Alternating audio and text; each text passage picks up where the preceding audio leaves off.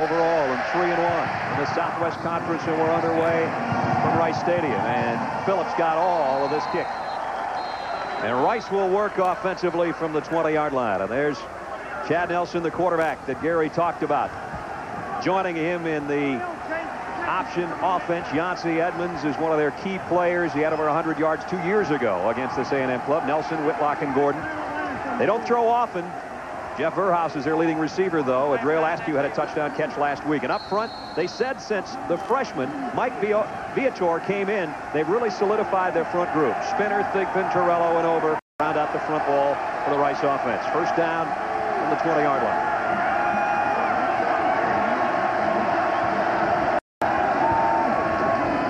And on the pitch, Edmonds got outside, got the corner, tiptoe to about the 25-yard line. Run out of bounds there by Dat Nguyen for the Texas A&M defense. Brandon Mitchell, a Lombardi semifinalist. Jasper and Williams on the front three. The linebacking core is a good one. They got a lot of speed as always. Reggie Brown's their leading tackler with Holdman, Nguyen, who just made the hit, and Mitchell. And in the secondary, Ray Mickens, a little guy, but made in that Aaron Glenn type of mold. They've had some All-Americans in their secondary. Allen McMullen and Williams round out the secondary for Texas A&M. Second down and five from the 25. On the move. Man, the first man in, though, is Whitlock, the fullback. Got a couple and brings up a third down and three. And third down and three, I think Kenny Hatfield would take, Gary. Oh, absolutely. In this offense, he knows that he's in his comfort zone. And really, one of the important stats in this football game is how well Rice can handle third down. A&M is stopping opponents this year, 27% success rate on third down. They have to keep it in this territory of about third and three or four. Actually, this is a little bit long situation for their offense, but Hatfield comfortable coaching this offense, the triple option offense. Officials having a little discussion. Randy Crystal, our referee. Momentary stoppage. Whitlock, the lone man in the Rice backfield. You'll probably see some motion, and there it comes. Pileup right at the line of scrimmage. Nothing doing inside. Brandon Mitchell and company stopped that in a hurry. And it was it was with penetration that they stopped at that time. Nelson had no other thing, he, nothing else he could do but hand it to the fullback. And Mitchell was in the backfield, and that's the guy that they're going to have trouble blocking all game. When you watch a lot of tapes, sometimes he's just unblockable. So Phillips will come in to kick, leading the conference at over 43 per. And a dangerous guy back deep is Ray Mickens, 13th in the country with that 12.4 return average. A&M's got all 10 up close. Nice punt. Mickens will backpedal to the 26. Ray Mickens straight up the middle and got to the 40, getting 14 on the return. And so good field position for the Texas A&M offense. Corey Pullig will bring him out. And he is 29-5 and 1 as a starter. That's kind of hard to argue with. Detron Smith, the fullback, and Leland McElroy is the home run hitter. Speaking of home run hitters, their long ball threat, Albert Connell with Sanders to play as the tight end. And Hunter Goodwin, there's some NFL scouts here tonight looking at him. The tackle that they like, Calvin Collins, Hackrat McKinney, and Ruman round out the front wall for Texas A&M. Corey Pullig, maybe not the prettiest quarterback in the world, Gary, but it's hard to argue with going for your 30th win as a career starter. And R.C. Slocum is trying to retool this offense to be a bit more balanced. And Corey Pullig is trying to get his game uplifted just a bit. The numbers on Pullig on the year. First down, Texas A&M from its own 40.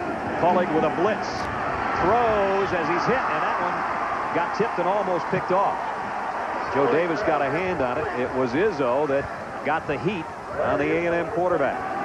Now a dual backfield with Detron Smith, the fullback. He'll lead the way all night for McElroy. And right now, straight up the middle. And into Rice territory. A 13-yard pickup for Leland McElroy. He's got Rice 48-yard line. Sanders in motion. And a little draw. McElroy, and off the right side, he's off to the races again. Give him 11 more, another first down. Explosive is the word you think about. If they so choose, second and inches. And they are going to throw. And Pulig does go deep. Nobody down there. Trying to get it to his tight end, Hayward Clay, who says he was held. And no flags in the second. Out for the first down on the keeper. As he got it to the 36-yard line. First down at the 36 of Rice here in the opening quarter. Three minutes in from Rice Stadium. McElroy. Ooh, took a pretty good lick. Jay Lamy came up from the secondary, and he got help on five. Seventh play of the opening drive offensively for the Aggies. Draw play, McElroy. He weaves his way, got by a would-be tackler. He's maybe a yard short of the first down, though. Joe Davis, the middle linebacker, made the hit. Well, the Rice Owls. It's another third and short situation. Two tight end set for A&M. Pullig pulls up, fires, got a man in single coverage. Nice open field tackle. Aaron Oliver made the catch. He first down, though, at the 23. And hit in the backfield. And it's who else? Izzo is not around the football a lot, there'll be a problem tonight. So far he has been. Pullig fires outside. Sanders makes a grab and out of bounds. Right outs to the bottom of your screen. Pullig rolls that way. And now he's going to keep it. And he's got the first down. Made a good decision. Saw an opening and took it. And a holding call, legal block. Out Sanders, Oliver, and Connell. Rice thinking about a blitz. They'll back out of it. Pullig's going to try to flare it out to McElroy. Made a nice catch, but knocked out of bounds. Case the backup quarterback. This one might drift to the right on him. He missed it. Second offensive set of the night for the Rice Owls.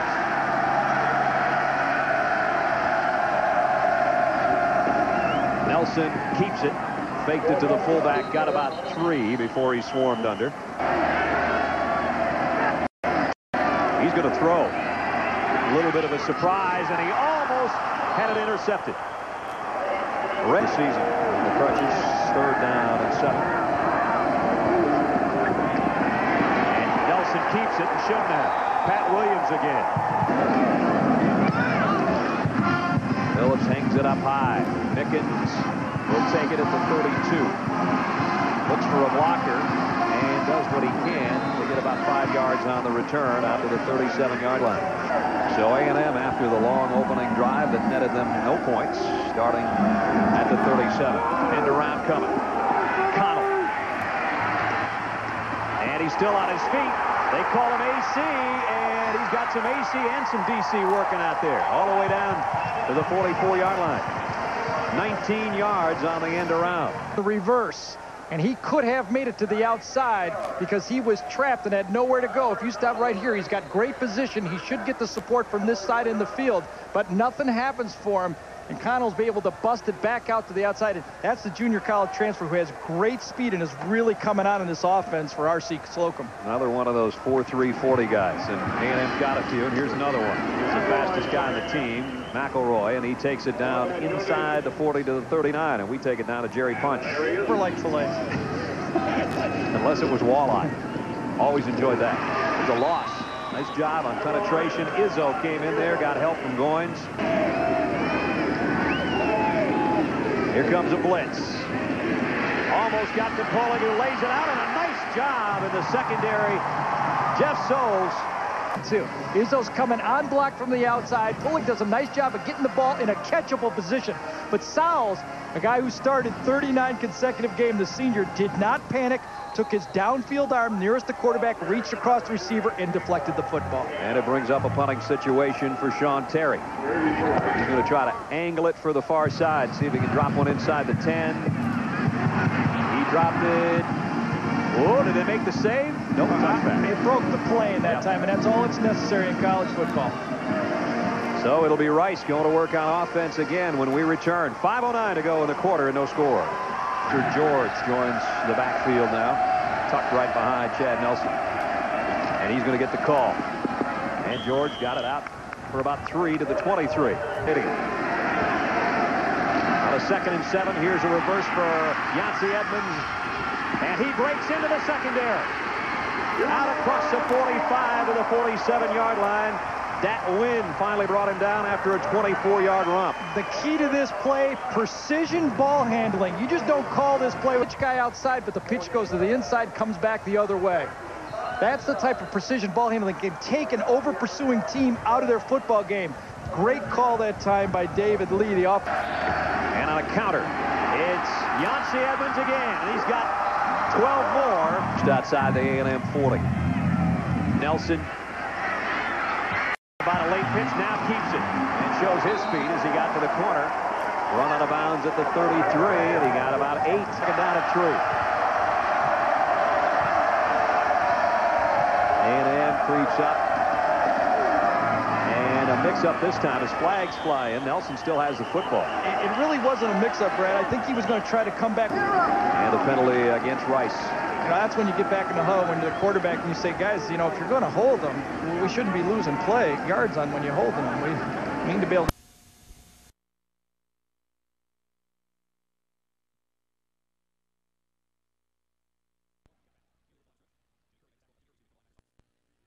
prior to the game, I, I, was talking to everyone about Brandon Mitchell that I could talk about number 96 as being a guy that can just blow things up. But so far in this football game, it's been Pat Williams, number 99, the junior college transfer, who has been in the backfield. And, you know, you talk about assignment defense against an option team. Assignment defense for Pat Williams, get in the backfield and make something happen. Raise some havoc back there. Third down and long. 0 for 2 on the night. Carries a trail man. Nelson will keep it. He maybe thought a little bit too much of his speed that time because he got run down from behind by Warrick Holdman. Where the speed for A&M shows up is backside. Brandon Mitchell, their great defensive end for A&M, is going to come from the backside. They're not going to block him. Now, the trick is, is he fast enough to get there and catch a quarterback who's 4-4? Yeah, he's fast enough. Yeah, he can do it, you know. I mean, that guy can get there, and he is going to be a professional football. He was a tailback in high school and ran the 100 meters for his high school team. I got a feeling he was pretty fast, too. He's going to line up here as they await what should be a pooch punt by Phillips. Nope, he's going to throw. Laying one out for Venghaus. He got it. Touchdown.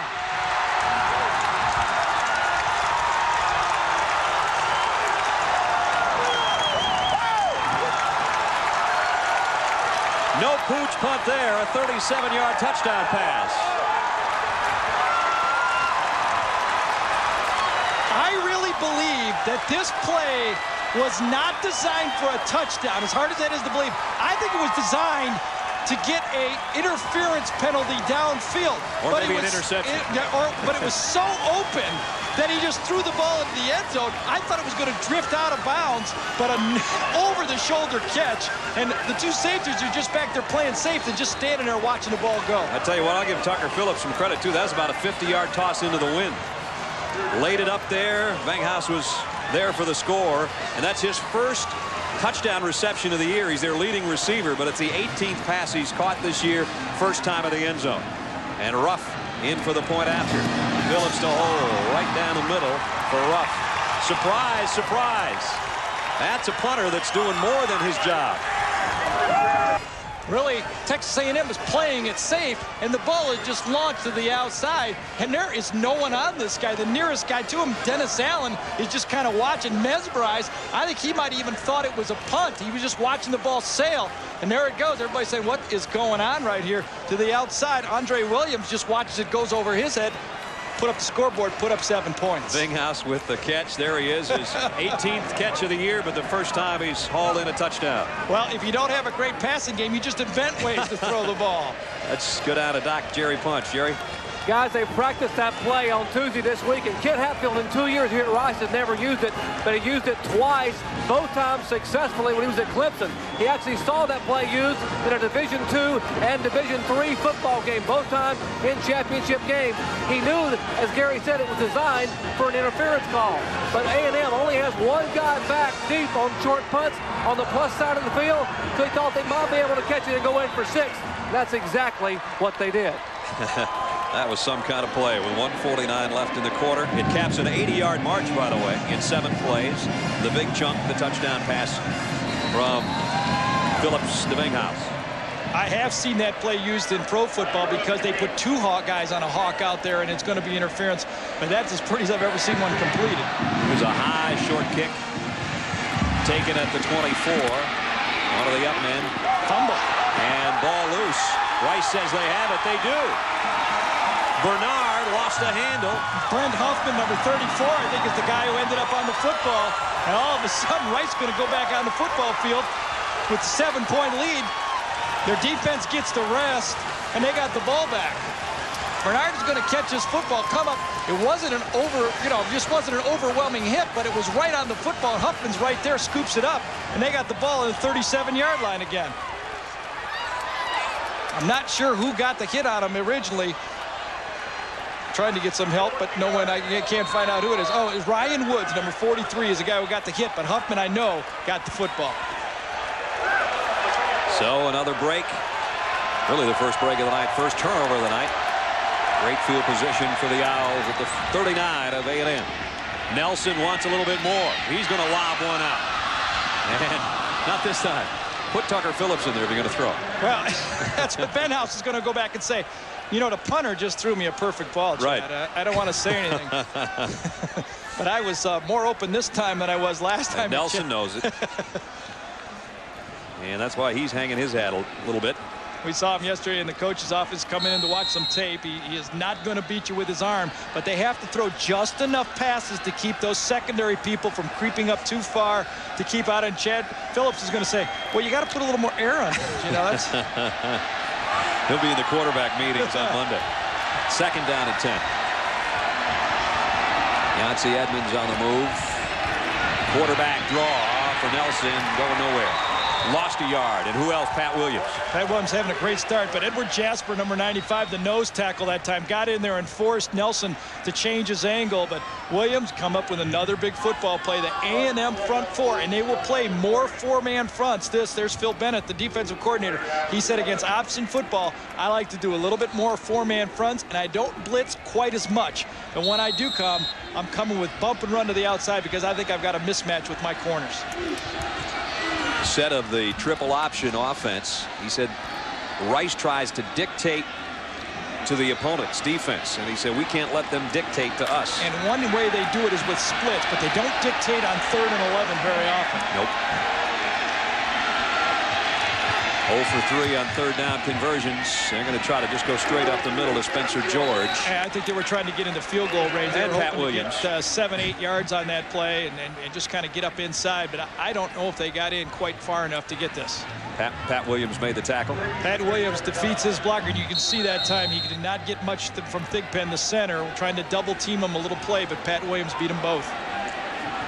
So this will bring out the punting team.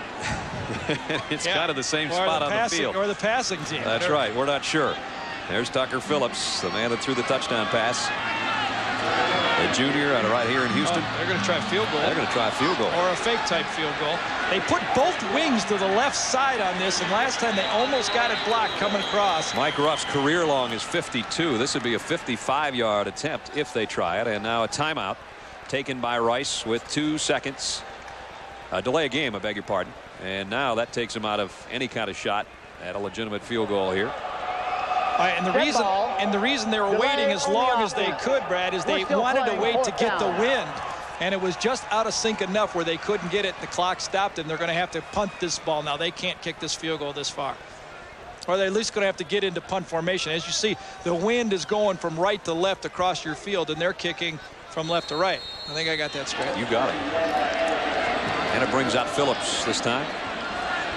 Jamie Whitlock, the running back number 17, is lined up in that personal protector halfway. He faked a bad snap last time. Let's see what they got this time. They'll kick. Mickens is going to let it go. And Rice, can they get to it?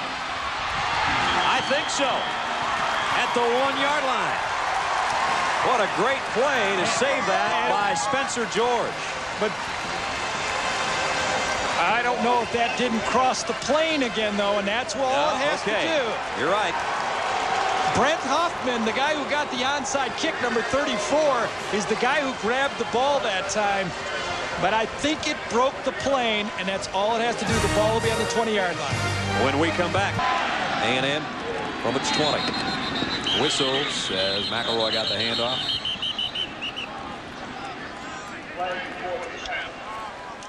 Flag prior to the snap. Randy Crystal, the referee. And it goes against Texas A&M. Let's go back and look one more time at that uh, downed punt and what happened on the play. Huffman, as you'll notice, the technique does not step in the end zone. Now, in the NFL, this is a good play. Melton is going to catch this ball, number 87, right on the one-yard line. But in college football, it's the ball. It's not your foot. And the ball broke the plane, or at least the official said it broke the plane. Ball goes to the 20-yard line. Either way, great play by Brent Huffman. First and 15 after the penalty walked off against the Aggies. Draw play to McElroy. Slips and down he goes. He got help slipping too. Nice penetration against by the Rice front wall. Larry Thompson, one of the first there, along with Goins. And Goins is the key guy back for Rice. He is a senior. He's where their their best defensive lineman. He missed three football games, returned to the Texas Tech game, and they're the guy that was missing up front and really one of the, the run stoppers inside that they need to have a big football game for them to beat A&M. Wally Ake, the defensive coordinator for Rice, said he was the key. Getting him back made our front solidified, and he was in on that stop.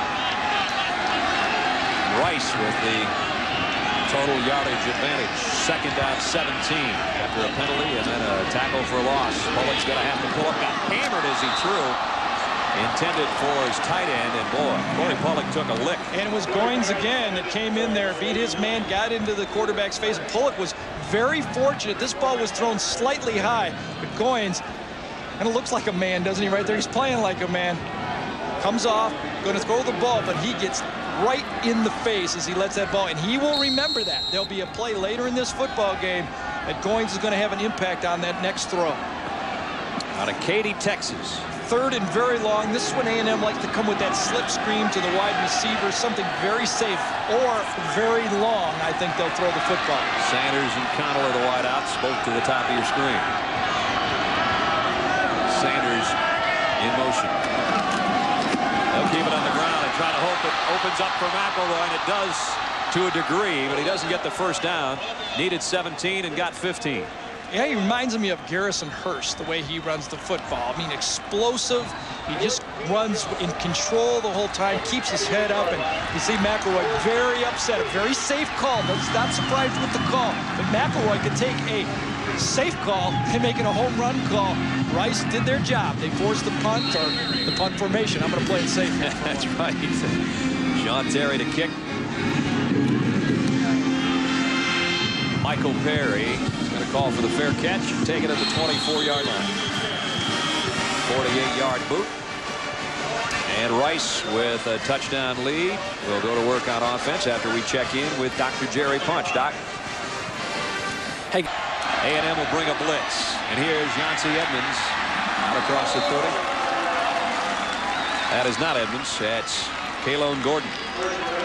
One of the plays that I think Ken Hatfield might have just invented is an isolation play off the wishbone. You see it coming right at you. It's going to come in there. The other back comes in. He leads on the linebacker, Holdman that time, and they just come back and gash you. And that'll keep that pursuit from the backside. And they do that by taking very wide splits and making those defensive ends play a little bit out of position. Remember that one pass was out of punt formation. Four, our only score. Second down and four.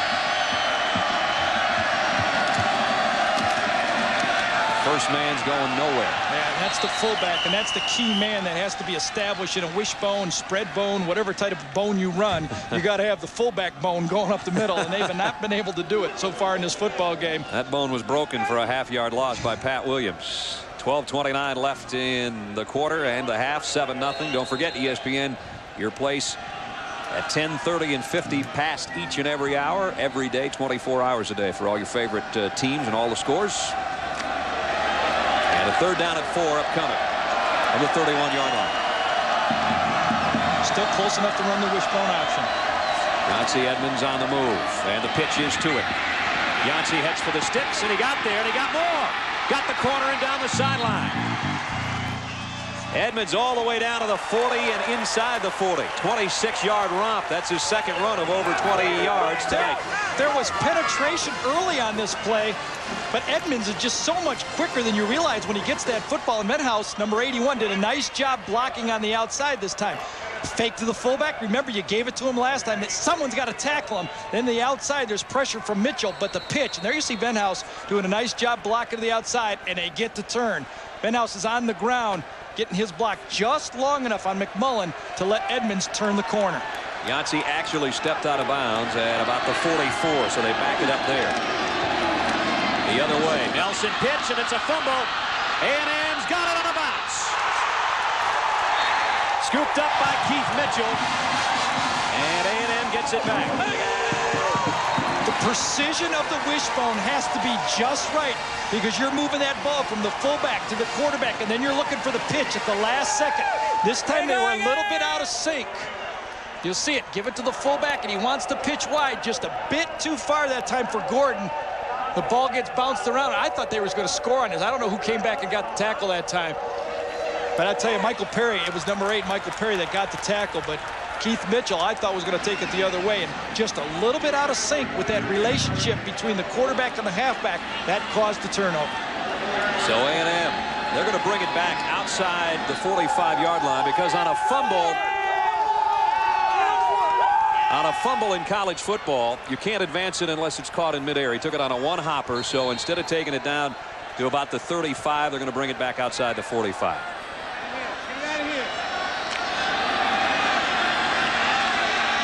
First down, Texas A&M.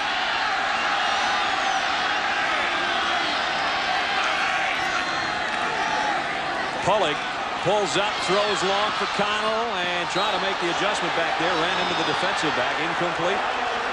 Now, that's the home crowd supposedly reacted to that play, but it's really the A&M crowd. And Warwick Franklin did a beautiful job reacting to this throw, and he turned around at the last second to find the ball and really force Connell to run through him to make the catch.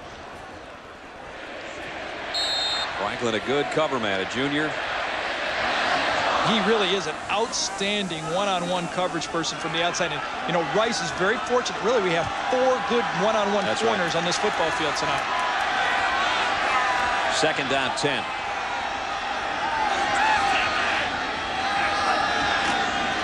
Straight give, McElroy. And look at him dash. Leland McElroy. He's going to go. Touchdown. 45 yards.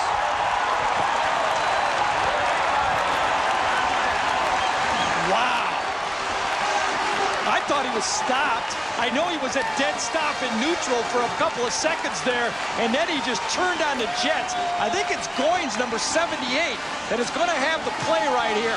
And then he goes inside, and boom, he turns it on. Explosive? You bet he's explosive. There ain't no four twos on the other side of the field. That's a touchdown. Zero to 60 in about three seconds. I think you got it. I think it was Izzo and Goins, two of their best football players, had a shot at him. Then McElroy just turns on the Jets, and that's why a lot of people thought this man could have won the Heisman Trophy. He was my pick preseason to win it. He just had the injury. Extra point up and good to tie the football game up just that quickly. Season-long run or Leland McElroy's tied this thing up. With 11.31 left first half. Ryan Pillins has got it teed up. A&M has trailed at some point in seven of its eight games this season. Lone exception being LSU. So they know how to come back, and they have to tie this as Pillins kicks off. Michael Perry waits on it, takes it a yard deep, but he'll bring it out. Perry. And Perry out to the 30-yard line. 31-yard kickoff return. Made a good choice. Let's check in with Jerry Punch. Doc?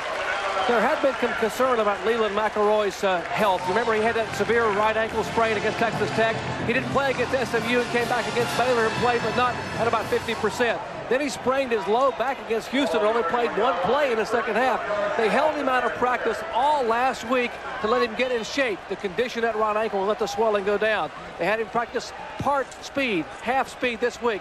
Their big concern was, could he cut? Could he finally get back to where he was at the beginning of the year and cut on that right ankle? I think he just showed him he could cut pretty well. Went half speed in practice and full speed for 45 yards and a touchdown a moment ago. Now Rice works from its 31-yard line.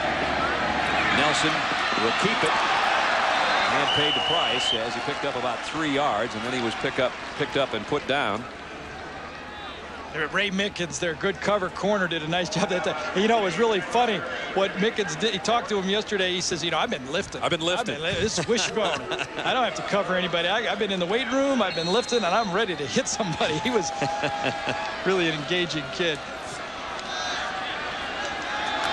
They've had some great corners come down the pike in College Station. He learned under the guys like Patrick Bates and Kevin Smith and Aaron Glenn. And here's Nelson who backpedals to throws. Got a man open. Edmonds, but threw it over the left shoulder, and Yancey was looking over the right shoulder. But they're going to get roughing the passer this time, I think, to the backside of that play. That'll be almost as good as the completion. Roughing the passer. Nelson says, let's take it that way, coach. Off of the triple option, you have to have the play action pass. This time he sets up, throws the ball, and you Ooh. can see Keith Mitchell. I tell you, you get fined 12, 15,000 bucks for that in the NFL. Ask Bryce Paup and those guys, right? You got it. Yeah, that was way too many steps, Keith. And a forearm to the head. Keith Mitchell's outside. He's uh, playing the position that Antonio Armstrong play. He's a rush backer. He's dynamic off the edge, but that time he just took too many steps. But uh, it's early in the football game. Chad Nelson is going to remember it. So a first down right at the midfield stripe for Rice with 10:38 remaining first half.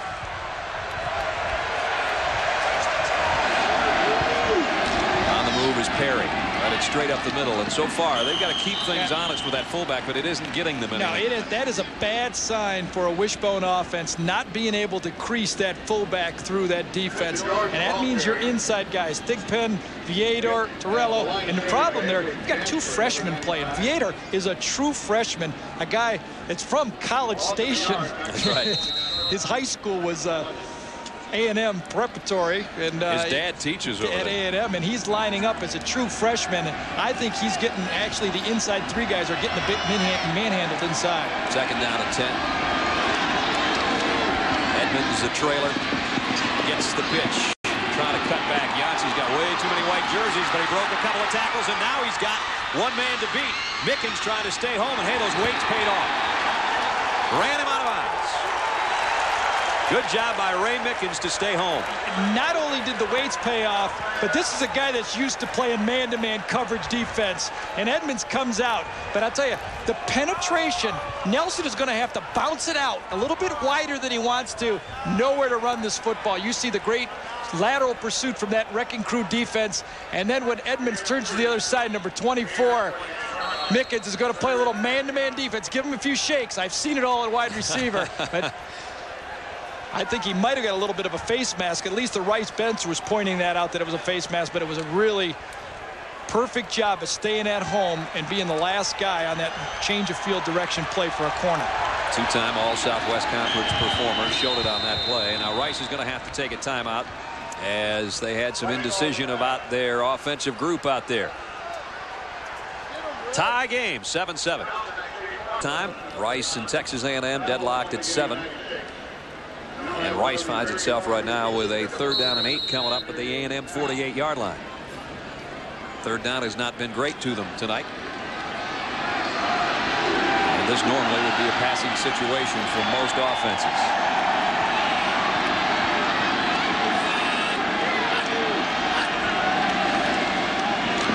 Nelson does want to throw, and he throws it a mile over the head of his intended receiver, Darius Wilmington.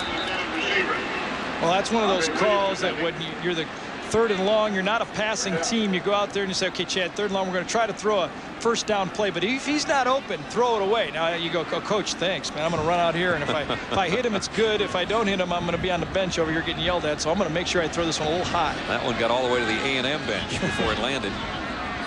Punt's not the worst thing that could happen for the Rice football team right now. 10 minutes, almost 10 minutes left in the half. It's still 7-7. On the offense, the penalty's been refused. We'll be playing fourth down. That we will.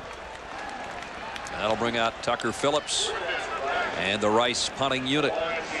There's the guy, if you just joined us, who threw a 37-yard touchdown pass earlier. That doesn't show up on his punting stats, but it'll sure show up in the box score. A 37-yard pass from punt formation made it about a 55-yard yep. throw. Into the wind and right on the money. Mickens back deep. A&M's had 10 men up all night. Now they drop back to return it. Kick hangs up there and goes out of bounds. Let's see where they're going to spot it.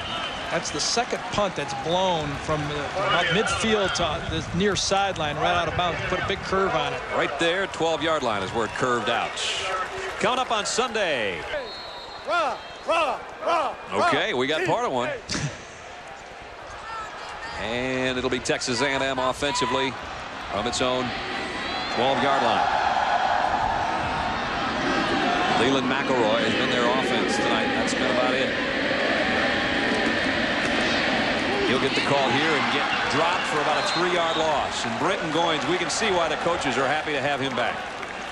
He did, but another guy that made a play was Thomas Binford starting his first game as a true freshman, number 55. Just hit that isolation right in the mouth in the backfield that time. He can fly.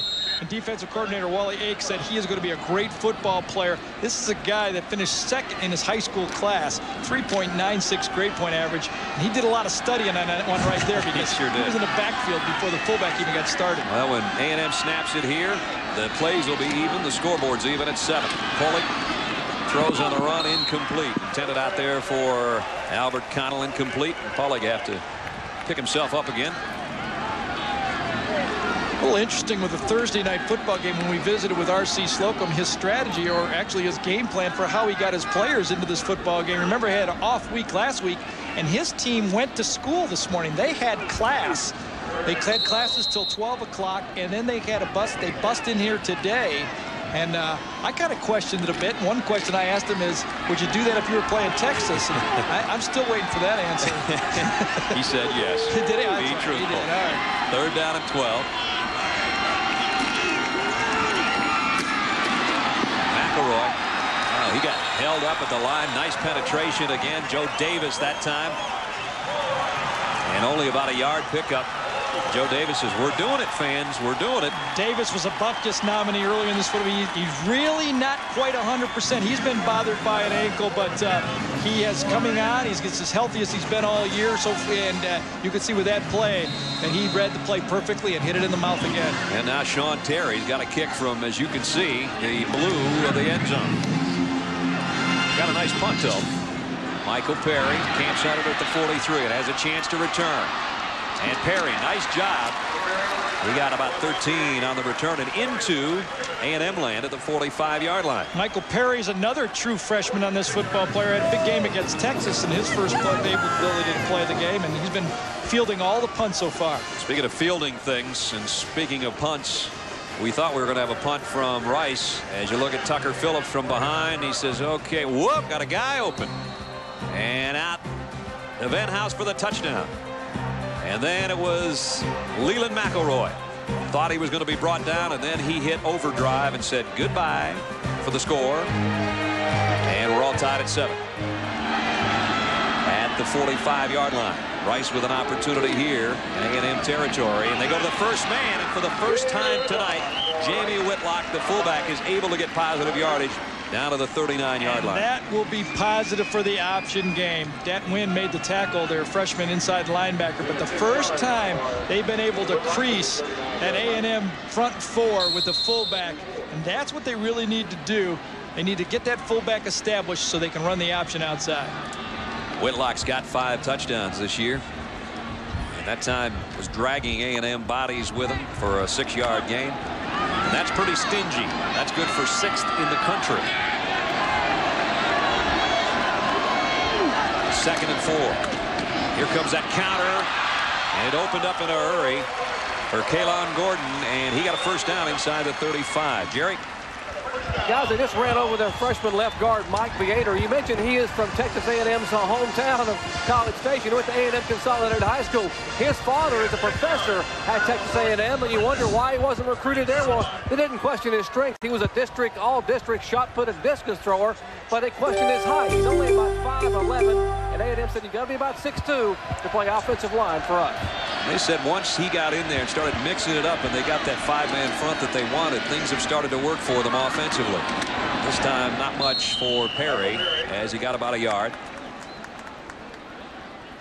And Rice has been banged up this year, and uh, inside Cooley, their uh, guy that they thought was an all-Southwest Conference type guard, yeah, is Chris, one of the injured guys that uh, it brought Viator in there. Chris Cooley is the guy. He's a three-time Southwest Conference player, and he, they were really depending on him this this year, and he has not been able to play all year as he tore a tricep tendon. Has not been able to do it. He tried to come back and uh, went again, and he's out for the season. We're under six and a half minutes in the quarter. Second down at 10. Rice As you see the clock winding down, gets it right at the final moment. Nelson fake to everybody, but he's not going to fake out A&M. He's going to get run out of bounds by McMullen from his safety position. Typho McMullen, the strong safety, did a really nice job of reading his keys and staying with the quarterback. Two fakes on that play. They faked the fullback, then faked that ISO counter back, and Nelson tried to get outside. They're trying to establish an outside running game and really have not been able to do it except for that one time a pitch to the outside and then that one reverse play where they pitched it to Edmonds. I would think a defensive player playing against this kind of offense has to have his eyes about as open as they can get to keep their eye on where the ball is. And really what A&M has been doing so well is getting penetration inside. Their two defensive tackles, Jasper and Williams, have been doing the job inside. They've been getting the penetration and keeping that option from getting started. Here's been the killer all night for Rice so far far, even though they're tied up in this game third and long. Third down at 11. Gordon in motion. Nelson quarterback draw all the way. Not enough of a draw though. Only got it to the 33, maybe the 32 yard line. Dat Nguyen and Warrick Holdman, the two inside linebackers, make the hit. Yeah, but no, notice where they ran that play, right to the middle of the field. And this time they're going to have the wind to their back.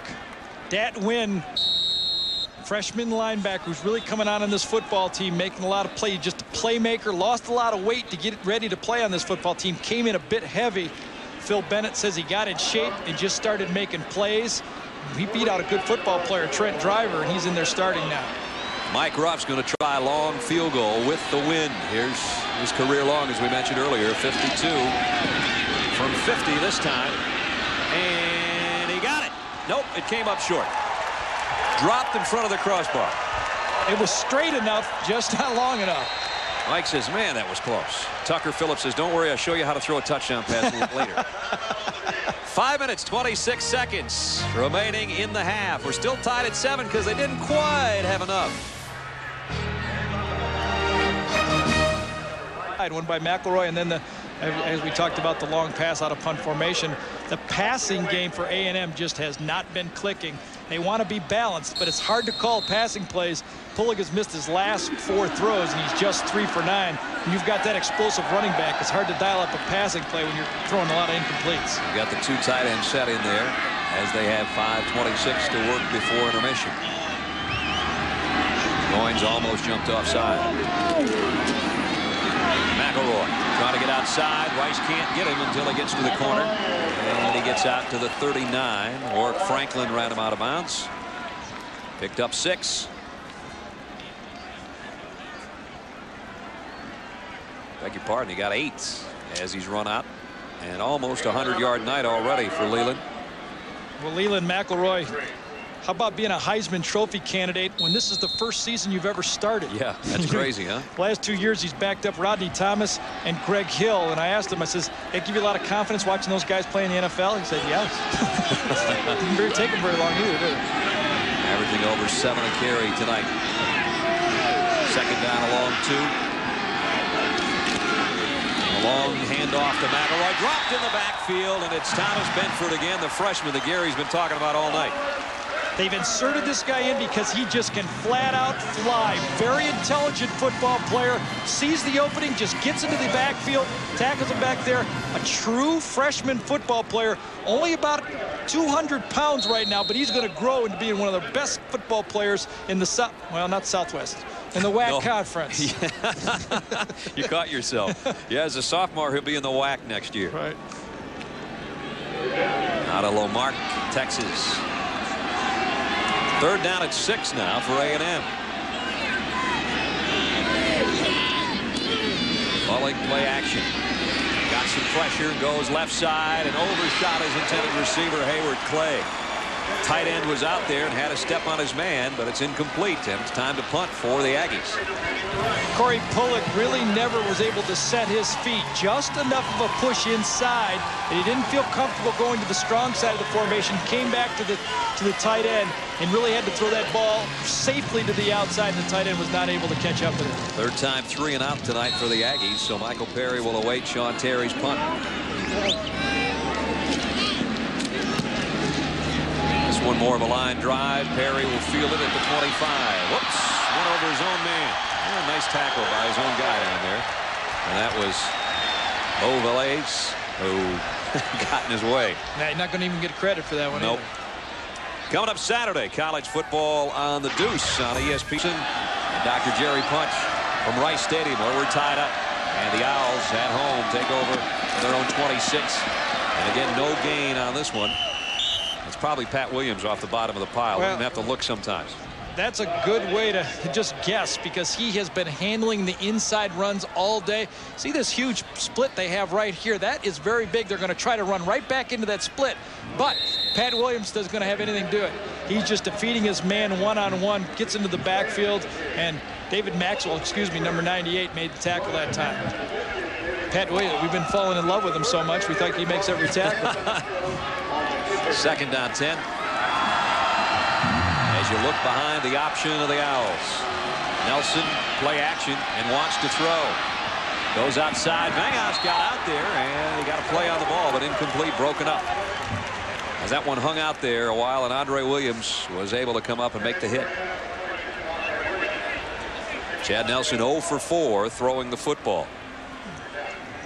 Venghaus is going to come in. He's been cracking all day. Going to come inside. This time they've got him bracketed. They smelled the pass play that time. And Williams and McMullen do a good job of getting the bracket. The ball was thrown the only spot he could for Chad Nelson. But Venghaus could not come up with the catch. And again, it's third and 10. For a wishbone team, this is just death. 3.34 left in the half. And they're averaging third and eight for the game. That's why they're one for seven.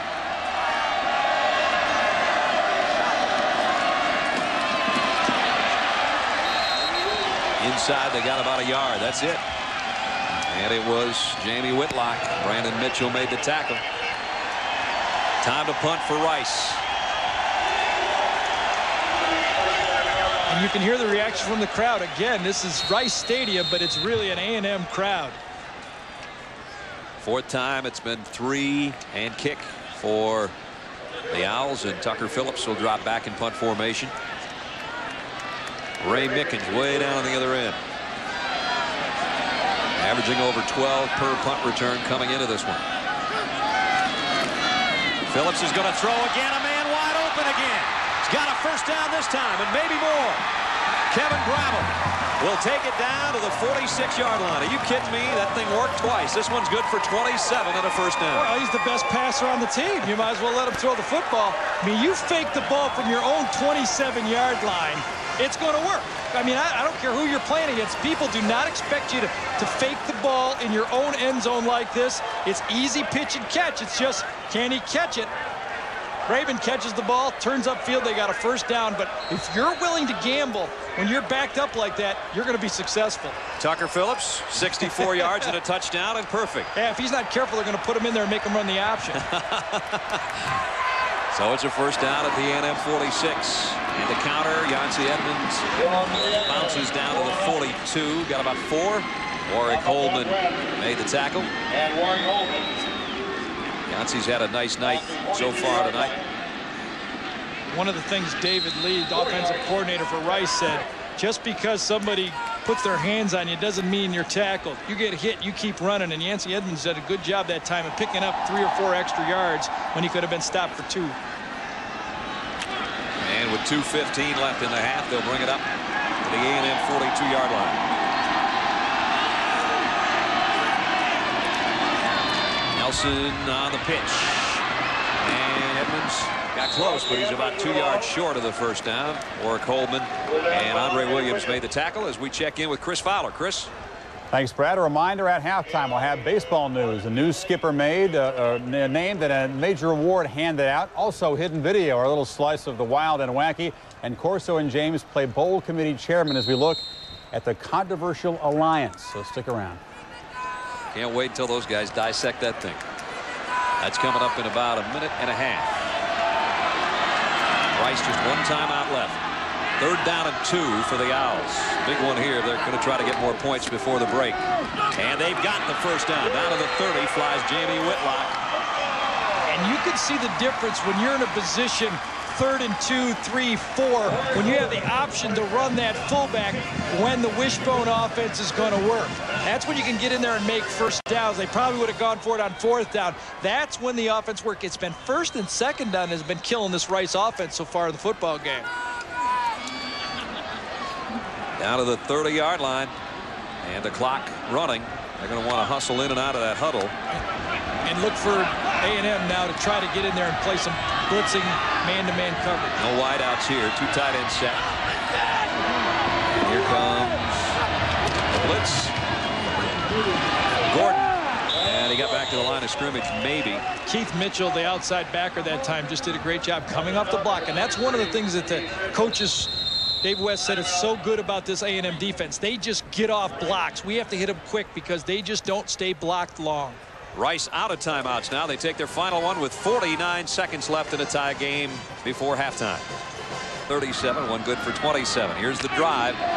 Started for the Owls at their own 26-yard line. And Rice is a bit confused even with the timeout this time. They send a lonely end way out to the left side. In motion. Nelson, quarterback draw. Uh -uh. Brandon Mitchell Loss of about three. Now you got to think about getting at least another try for a field goal here. You're going to run the they, they really can't even run the ball. They really should take some clock here. Now is A&M oh, going to take timeout? Is an oh, injured man. A&M's got a man down at the 30. And it's Warwick Holdman. See, they're they're really in a little bit of a bind here because they'd like to run the ball Rice would and pick up a few yards to kick a field goal, but then they're going to have to rush their field goal team on the field because they can't down the ball. It'll be fourth down. You can't just ground it to stop the clock. This injury, though, should give them a timeout to get their whole kicking team together around. I think that's the deal right now and around Hatfield. There's will, two different huddles going on. And it right would now. be what I would do is I would run the ball and then run your kicking team on to get the chance at the field goal because you cannot ground the ball. It's one of the things that I've seen quarterbacks make mistakes. You can run up there and ground the ball on fourth down. The other defense says, thank you. Coming up at halftime, which is 32 seconds, of Holdman, the redshirt freshman, being helped off the field. We'll try to get word from uh, Jerry, if not the before this half ends, sometime early in the third quarter. Larry Walker will come in to take his spot. Larry Walker was the starter for this football team when the right. season ended and a returning starter on the football team. So Holdman beat out a good football player. So third down at 13 for Rice. Let's see if they do what we think they might do. Watch number 17. I think he'll get the ball. And that's Whitlock. They're just going to down it. Boy, I don't, I don't understand that one. I don't either. I think they had plenty of time. They have 30 well, now the scoreboard clock says seven seconds. Now, uh, we had 32 I, up there a minute I, ago. I see. The, the, the, play clock started again. Now, what Rice needed to do was get up there under the ball and start right away. They let it run down. Actually, they just had no other choice now to kick the field goal. So Mike Ruff, who missed by about two feet on his last attempt. Tucker Phillips will hold. This, this one is longer. About a yard longer. A 50-yard field goal attempt. This one's going to be short also. Ruff Comes up short. It bounces right on the R in the end zone as the half comes to a close. So two long field goals that Mike Ruff's had a chance at. R.C. Slocum's Aggies come back from being down seven to tie it up at intermission. 7-7 from Rice Stadium as we send it back to the gang. Chris Fowler, guys. All right, Brad. 45 of those 66 yards going this way on that one play when he actually made a couple guys from Rice miss on that play. He made it all on his own. And as Phillips limbers up his legs, I don't know why. I should be throwing. yeah, he's down on the sideline getting ready. And we're going to look at the stats. And, and really what stands out is the total yards. For Rice, 180 yards. Remember, 64 of those was from the punt formation and 45 of the yards for A&M came in one play. Neither offense has been able to get underway with their offensive attack, and that's why we're stalled here. 7-7 as Rice gets up, or the Phillips, excuse me, gets up from stretching his leg. And there's his numbers. and that is a passing efficiency rating that's probably tops in the country right now. Not enough to qualify. Mike Ruff to kick. And Leland McElroy is back deep. And watch out for him as two years ago he went coast to coast twice against the same Rice team on kickoff returns for touchdowns of 93 and 88 yards. First time he'll be able to touch it tonight, though, as a kickoff return. Uh, They're keeping it away. I don't think so. They're going to pooch it again. Down to the 22-yard line. last time they fumbled in that same spot. Out to the 37 goes Bernard, and down to the field we go to Jerry Punch. Doc.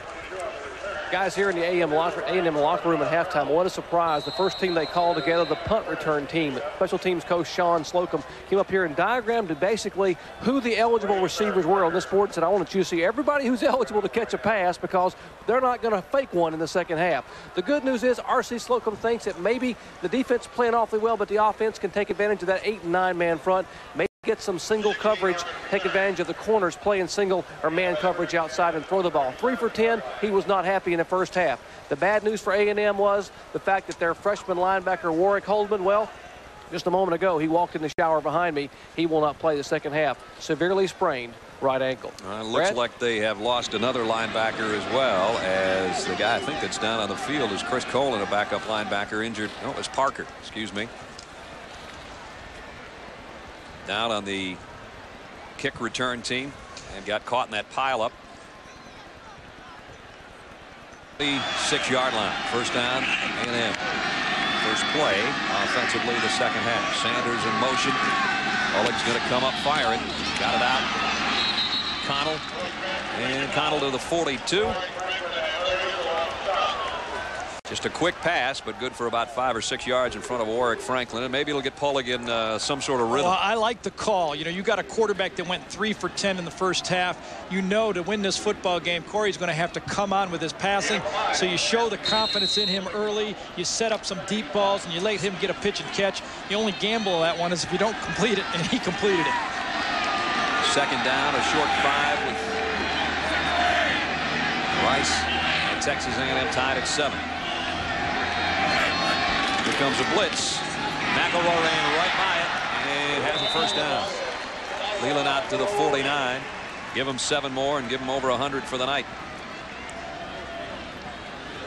The goal for the Rice defense was to stop the inside running game. So far in this football game, you can see they have not accomplished their goal. But it does appear to me, though, that McElroy has had to earn his yards. Remember, yep. he had a big draw when it was uh, third and about 20 that they gave him about 15 yards. And, of course, that one between the tackles was a 45-yard gain when it was defense pretty well. So it hasn't been easy for A&M, and I think Rice is very happy with their defense. Leland with a buck and a quarter tonight, 125 on the ground. We're early in the third quarter. Whistle stop play, and Goins stops McElroy. Yeah, but the, and he went just a bit too long. He's going to draw a delay of game penalty as the 25 second clock ran down. Now, if you're Leland McElroy, you're going, I had to take that right, shot. That, that wasn't fair. Man. I think Leland kind of, you know, kind of fell with the punch that time, kind of took the punch, and it really didn't look as bad. But you know, looking at his face, doesn't seem real happy about it, does he? I may have said Leland had 125 on the night. The team has 125 on the night. He's closing on 100, though. First down at 15 now, back at the 44-yard line. A&M, a very good screening football team. Let's see if they can come with a screen and get McElroy some room and some space.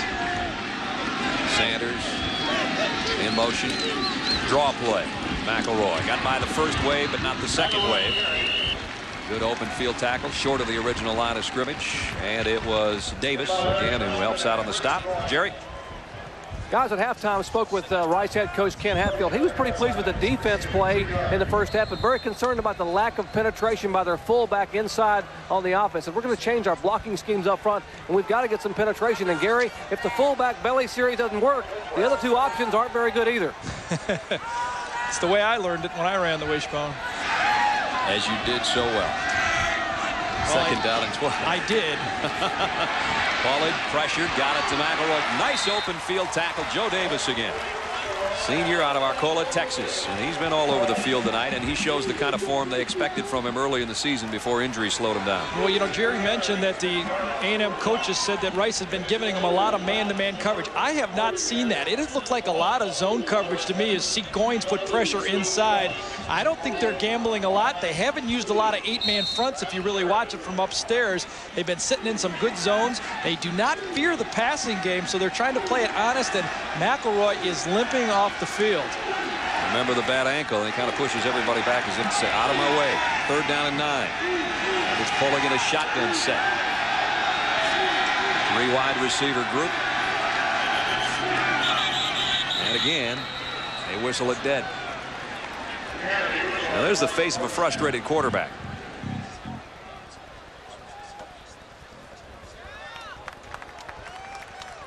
This time someone moved, just flinched up front, just enough to back it up. Going to make it third and about 14, and RC's going, this, the, the halftime speech just didn't work the way I thought it was going to go. At least not so far.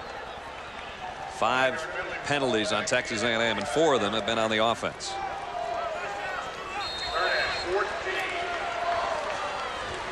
So as Gary said, third and 14. And Pullig two of four in third down situations. Zone defense, three-man rush for Rice. Izzo's going to be the fourth man. If he comes, he does not. Pressure on Pullig. Flags down. We're going to holding call. Andy goes down for a loss. Andy Clifton just exploded in there from his defensive end spot. Andy Clifton was not even projected to be a starter for this team. He beat room in that time inside and had to get a hold on it on top, and I'm sure they'll decline it. But coming from the left side of the screen, you're going to see Clifton is going to get just inside there. You see the hold right there. That's the hold on the play. Pullig is not able to get away from it. A hold and a sack on the same play, and I'm sure it's going to be declined, and Rice is going to get the football back. On the offense, the penalties refused. Fourth down. Enter Sean Terry to punt. He's been a lot busier than he was hoping for tonight. I know that. Backing his up, fifth kick. Backing up Leland McElroy are two true freshmen, Sirr Parker and D'Andre Hardeman. And Parker went down on that kick return. That's had right. to be and limping off. So we'll wait and see about Leland McElroy. Michael Perry. Doesn't take the fair catch. I thought he was going to put the hand up. Well, it was, the... was kind of half fair that time. He kind of just waved, kind of chicken hawked at that time. Well, Leland McElroy with a big night, but in question now as to whether or not he'll be back in. Tie game, 11-12 in the third. I, I, what does that say? A&M on ESPN. Oh, that's an A. a that's an A. ATM. ATM. Yeah. Okay. You think about it as, uh, of course, automatic teller machine. Well, yeah, for, with for... your wealth. A&M digs in. Rice at the 30-yard line offensively. 11-12 to go in the third quarter. And maybe a yard for Yancey Edmonds. Inside penetration. This time it's Edward Jasper, the nose tackle, is going to make the play. They have not been able to stop the inside play. Number 95 middle this time comes right off the block that time by Viator, and, and the, the, young freshman has not been able to handle the strength and quickness in the A&M line. Well, that's a load up there. Williams about 280 and Jasper about 290 and Brandon Mitchell about 280 on the other side. Second down nine.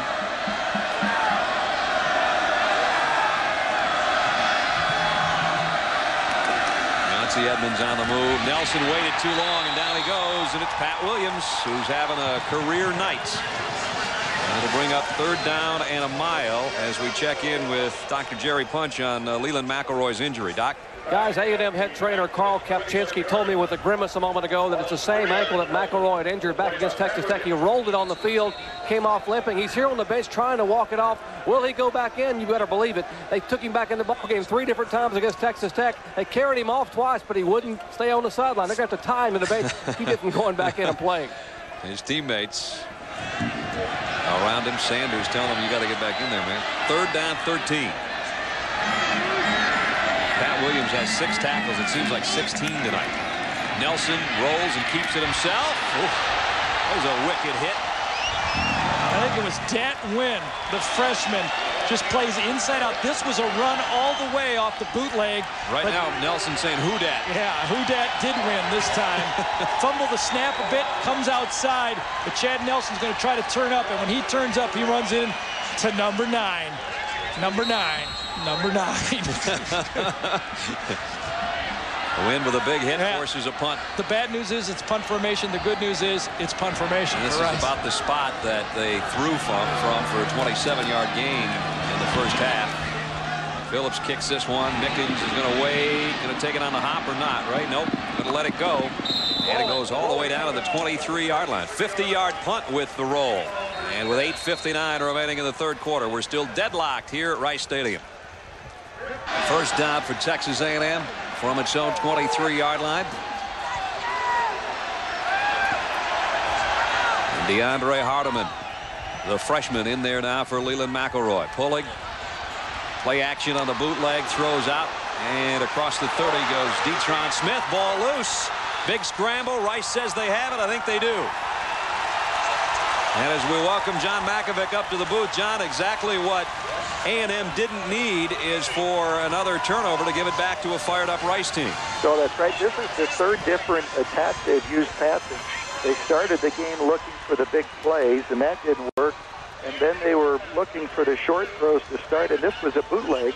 And of course, uh, it's a lot of times you get the completion, but a big stick by the Rice team, and uh, they created a second turnover for them. It was Andy Clifton again who had the sack before, came from behind, forced it loose, and Britton Goins is the guy who fell on it, and Goins and Clifton making plays, and the, the field is turned upside down again, Brad. And turnovers now A&M put it on the ground twice. Here's a big break for the Owls offensively at the Aggie 31. And dragging tacklers with him is Jamie Whitlock. 14 yards straight up the middle, and Coach, uh, what they haven't been able to establish too well is that fullback straight up the middle. It worked that time. So I call this a water torture offense. they just drip, drip, drip, and before you realize it, there's some gashing holes in there. This is the first real run they've had up the middle that looks like it had a chance to go. It's exactly what the coaches have told us is that if they just keep beating it in there, even if it doesn't gain a lot on several plays, when it finally opens up, it opens up the whole triple option. And now they get a first down in the red zone. Just outside the 17-yard line. Nelson waits, late pitch, Edmonds, and knocked out of bounds, short gain. Coach, it does appear that the A&M speed from their interior defensive line is forcing and bouncing that option a little bit too wide. They can't turn the corner. Yeah, A&M clearly has an advantage team speed-wise, both on offense and defense. Of course, we saw it with uh, Leland McElroy breaking that run in the first half. But defensively, it's very difficult for Rice to get outside on the option. That's why they went to those little counter plays to, to slow them down and also get them going with misdirection. Second down and nine. Owls try to capitalize on the turnover. Nelson will keep it, and he found an opening. It closed in a hurry as Andre Williams came up from the secondary to make the stop. The standings in the Southwest Conference, John Mackovic's Longhorns of Texas are atop the heap right there at 3-0. And, Coach, everybody's talking about the big game December 2nd against A&M. They better take care of business tonight or it won't be as big. No, we both have a lot of business to take care of. We have three games before that when, of course, A&M has two others. So there's still a lot of football to be played, and we're playing well now. We're happy about it. I'm surprised this game is as close as it is, as it is though. Kind of a strange scene here, Coach. It's Rice Stadium, but 80% of the crowd are A&M fans. So I've been there before, Gary, under those same circumstances. Third down and five, a huge one. Are they going to run out of time? They got the playoff. Nelson keeps it. Flags are down. Maybe they did run out of time, and the flag came in late as Nelson goes down for what would be a first down, but again, a penalty marker on the play. A&M has to be careful. They're a blitz team, and they like to go after teams, but they have not blitzed very much tonight, although that was one situation there. I think they brought an extra linebacker up to the line of scrimmage. Coach, you know, when you defense this Rice team, did you have to make many changes in your defense for a different style of offense, or did you just play what got you there? Well, I tell you, Gary, we had to be so careful that we didn't leave somebody uncovered when we had the option. Whenever you have an option, you have to put somebody on the fullback, somebody on the quarterback, and somebody on the pitch and you have to repeat it over and over. And of course, what, what Rice is looking for is a mistake by somebody in that defensive unit. So far, A&M has had very few mistakes against it. Here's the one soft spot in the triple option as far as I'm concerned. When you end up third down and 9 or 10, it's third and 10 right here. And now they're going to have to take a timeout. So Chad Nelson says, uh, I was running out of timeout. It was down to one second again on the huddle clock, and that's what got him in the situation they're in, which is third and long. John Mackovic will stay with us. We'll let the rest of you take a break with 6.49 left third quarter. And we're tied up at seven apiece. Texas along with us, and we have a third and 10 for the Rice Owls. There's what they've done in the red zone this year. They're going to have to earn all of this third down. Nelson will keep it. Weaves his way inside, and Nelson's got a first and goal. Johnny's a slippery little quarterback. Oh, what a good call because you're you're expecting pass, so the the line is coming on a hard rush, and of course those aren't coming are headed for the option, figuring that you'll go outside, and that's a great counter play. This is really like a counter play for a triple option team. And you can see the quarterback, Nelson, sees the over pursuit to the outside, and he's got that quick start 4-4 speed, kind of like the guy you're playing with down there at Texas also right now. So James Brown runs like that, but uh, this Chad Nelson has really given him a different team. Chad got about a half a yard and got pasted that time as he was just going to take that snap and uh, make it a long quarterback sneak he hoped. Coach, speaking of a different team, has it changed your philosophy at all? The success James Brown's had within your offense, of the type of quarterback you're going to recruit in the future? Are you going to go on a guy that runs with the ball? Uh, Gary, I'll tell you what, if we can find real good athletes who like to play a pro-style offense, we'll always look for that. But we'll look for a pro-style quarterback first because that really is our offense. Second down and goal at the four-yard line. Under six minutes to go third quarter. Rice trying to capitalize on a fumble recovery. Nelson late pitch, loose ball. Edmonds got it on one hopper. That was dangerous. He maybe got back to the original line of scrimmage. That could have been disaster. Again, inside penetration by the defensive tackles. Nelson has to take a couple steps back, and he got hit just as he let go of the ball. You'll see the penetration come inside, forcing Nelson to go wide. It was Keith Williams, number 40, 23, Keith Mitchell, excuse me, and Edmonds was able to get the ball. Yeah, A&M said enough of this. We're coming after you. That was a yeah, that's right. Time. And Nelson got hit right on the arm or the left elbow that time, and he's hurting. And now it's third and goal. Michael Perry brought the play in from the bench. The seventh play of this drive. Nelson keeps it. Shouldn't have. Goes down at the five. He lost a yard, and it's Trent Driver, the inside linebacker. Highly recruited kid, John, Trent Driver. Yes, he's a good player, and of course, uh, they have some good young linebackers. That wins the one who's made the most plays in the last month for them. He's come on and become an outstanding linebacker for them. So the field goal unit comes on kind of tough when you, you, you, start your preseason, the strength of your football team. As you look at Nelson go off, he is hurting. I think it's his arm that got hurt. Was supposed to be your linebackers, and two freshmen beat out your two starters from the year before. Tucker Phillips to hold. Mike Ruff will try a 22-yard field goal. And after kind of a rough night with two long misses, he connects there to give Rice the lead. But as Gary said, the Owls quarterback is shaken up. I don't know where they go from here if Nelson cannot play with Josh LaRocca out. They do not have experience at quarterback. They got another true freshman, Tillman, Tillman yeah. Raphael Tillman, that's going to have to play. And his offense, according to David Lee, is very limited. He hasn't had much practice time. Uh, I would think that they'd have to make some major decisions on what they would do. But the good thing about their offense is they don't have to rely on the forward pass. And they can run that ball and run the option and make things happen with that. Well, not the way they can throw from punt formation, they don't. well, that's, it's time for Tucker Phillips to make another appearance. He's perfect tonight. You see Tillman, though, strapping it up and getting set to warm up. Mackovic for taking time out on his night to uh, join us. The 11th ranked Longhorns. It's the highest ranking they've had at this stage of the season in five years. And here's Sirr Parker, who's shaken up on the last kick return. This time he takes it and I think a penalty down at the 40-yard line. Looks to be a marker as he got out across that 40.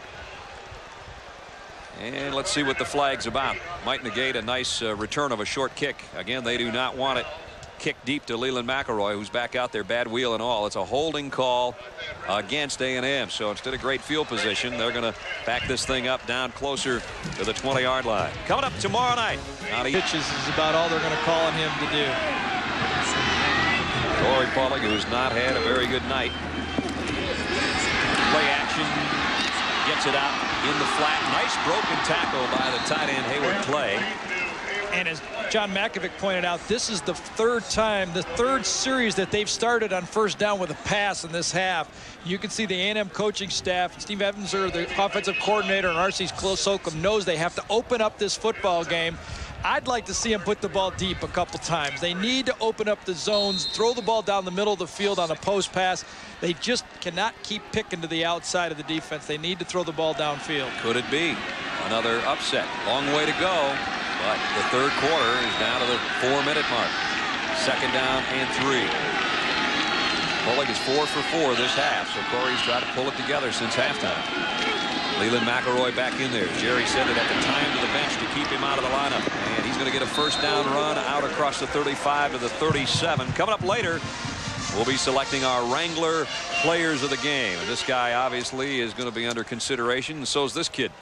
Tough little rascal, and he is uh, not anywhere near what they list him at, which is 5'11", 185, because we stood next to him yesterday, and if he's 5'11", I'm Andre the Giant.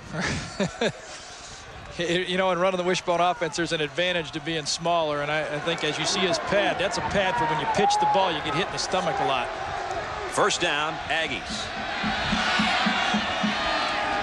Pullig rolls out. Ooh, diving attempt to try to sack him. Boy, is that, that Izzo That was there? Izzo. The guy plays all out every play. Larry Izzo, put a cape on him. This looks like Dean Cain right here on uh, The New Adventures of Superman. Watch this thing coming in here. Roll out to the outside. They're trying to open up the defense. Dun, da, da. the bad news for Izzo, he might have played like Superman. Yeah, but he doesn't get to Lois Lane. That's the yeah, only problem. No right? Teri Hatcher. You got it. It brings up second down and 10. Seven tackles tonight for Izzo. From the 37. Fourth first down pass this half. Give to McElroy. Trying to weave his way, and he does. Boy, he can find the openings in there. Got it out to the 44-yard line. Let's check in with the good doctor. Jerry, what do you got? Guys, a moment ago you saw Alan Eggert, the Rice head trainer, talking to Chad Nelson, and a concern about Nelson was his left shoulder. He actually took a helmet right on the end of the clavicle the collarbone. He's been trying to warm up pitching the ball, but when he grabs the ball and pitches the option, he grimaces considerably with that left arm. I asked him, said he's going to go back in the ball game. The coach said, you better believe he's going back in. He's chewing the ice. He'd like to chew up the A&M defense. Right now, it's 10-7 Rice trying to pull an upset at home. Third down and three for A&M. Pullig whips it out. Connell on a wideout screen, and he lost the ball at the end of the play. They whistle it dead, I believe. He was down that time. At the 49, he'll have a first down. Trying to stretch it out, put his arm out there, but the body went down at the 49. It'll be good for a first down. He made a heck of a catch just to scoop that one off the turf. And you can see the speed that he had that time after he caught the ball fake to McElroy one way, turn around, throw the ball out on the option right there. Had only one guy to block. Couldn't go this way. There's somebody, so he tried to get back inside. And Jeff Sowles, is the guy who's going to end up making the play and making the tackle on it. Albert Connell, part of the junior college national championship last year out of Fort Lauderdale, Florida. Played for Trinity Valley Community College. They went unbeaten at 12 0. He was a big reason why.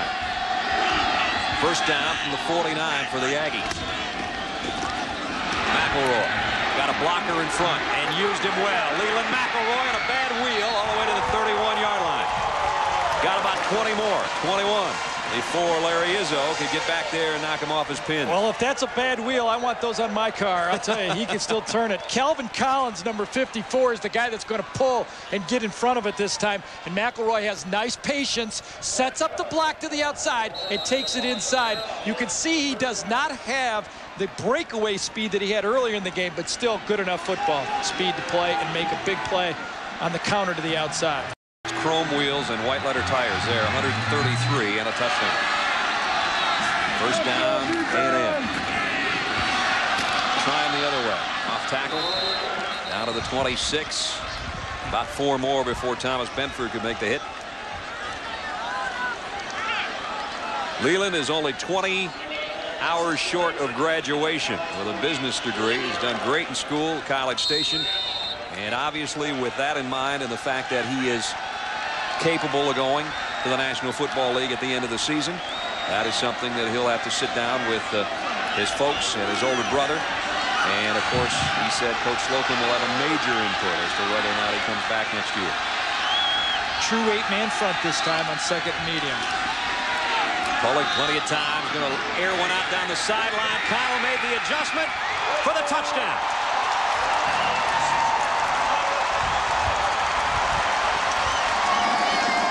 And that's what you have to do occasionally. You just have to put the ball up in the air. Your receiver, Shaw, Ladafa Shaw, had good coverage. The ball was thrown slightly short, and Connell jumps over, makes the catch for the touchdown. And that's when that turf comes up. Because Albert Connell is the guy that's down. Fade to the outside. Shaw was in a bail technique. It was not to the outside. And as this ball comes down, you see it's perfect position right there. Who's going to win it on this one? When you do it, and as it goes forward, you see Connell adjusted the ball better than Shaw and gets the touchdown. Connell uses this 41-inch vertical leap. He used a lot of it right there and then came down on the ball as he hit what is a very hard surface, to be quite honest with you. And this turf will be replaced at the end of this season. Not soon enough for Connell. No, not quick enough for Albert. He's going, why couldn't they put that in last week? Would have been good. You know, Shaw did a perfect six-yard touchdown. And now the extra point's up and good.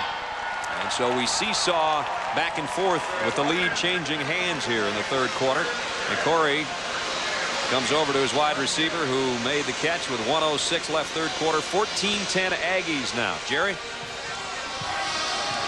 Guys, guys, the good news about Albert Connell just got the breath knocked out of him, so fortunately he'll be able to come back in. But you're exactly right. This turf is very, very hard, and he fell directly on the football and then couldn't get a deep breath. There is no more uh, desperate feeling than the ability to not to be able to breathe, and uh, they let him lay there for a little bit. He'll be back in probably next offensive series.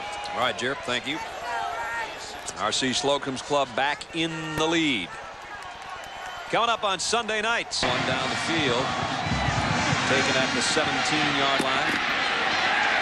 And out across the 25 goes Rod Newhouse. Familiar name to Southwest Conference fans. Chad Nelson. Got another flag down on the play, though. Nelson ready to go. Still adjusting his gear there, making a final check of uh, his shoulder pad strap. And Rice is saying it's holding against them on their kick return team. See if Randy Christal uh, agrees. Absolutely. That'll back it up inside the 15-yard line. So the field position is going to suffer on this one. So now which which way do you go? If you got a bad left shoulder, you know, you can't pitch to the left. But if you run to the right, you're going to get hit right on that yeah. bad left shoulder. You, not much else you can call. Chad Nelson 0 for 5 passing. But remember, coming into this game, he had only completed six passes all year. And we'll take another look at what shook Chad Nelson up in the first place. Coming from the outside this time, from the corner, he was hit just as he let that ball go by the corner, Andre Williams, on a corner blitz. Got his helmet right under that left shoulder pad. And there's the guy that would take his spot if necessary. This is the worst starting field position of the night for Rice, just outside its own 15. Fullback got nothing. Brandon Mitchell is there. So is Pat Williams. Well, yes, he had a game. He was not a starter at the beginning of the year, but he's come on strong and making a lot of plays. Freelances a bit, but he's still a good football player. Starting to get a feel for this Texas A&M defense. 14 to 10 our score in the waning moments of the third quarter. And as you see some scores come in, don't forget ESPN, your place for scores at 10:30 and 50 past every hour, every day, 24 hours a day. And what might be the final play of the quarter, if it's on the ground, which everything has been tonight for Rice. Nelson, late pitch, Yancey Edmonds. Yancey cuts back inside, and he got a first down. I thought he was going to be knocked out of bounds, and then he move inside, and Dennis Allen bumped him out, but not before he got 15 yards. Yancey Edmonds is about the exact size you need to be for that pitch back. Option coming right at you this time. Fake to the fullback, slide your foot forward, get to the pitch man, go inside, force him to tackle you. Perfect pitch. Edmonds going upfield when he catches it. Makes one man miss, gets a first down. Yancey's best season was 93 when he almost put a 1,000 yards on the board. 941 that year. He's got 95 yards and 11 carries tonight.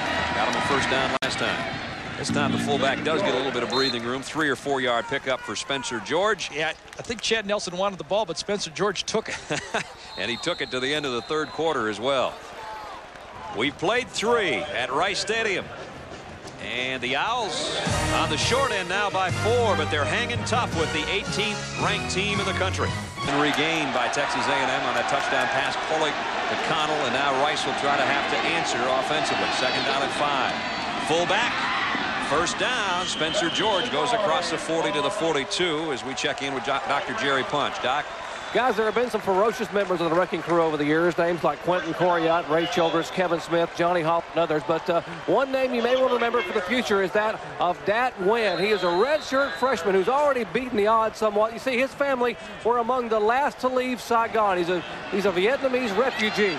And tonight, his mother, for the first time ever, will see him play in an Aggie uniform. She is in attendance here in the upper deck. That's great. And he's had a good game from the 43, maybe a yard inside on the fullback.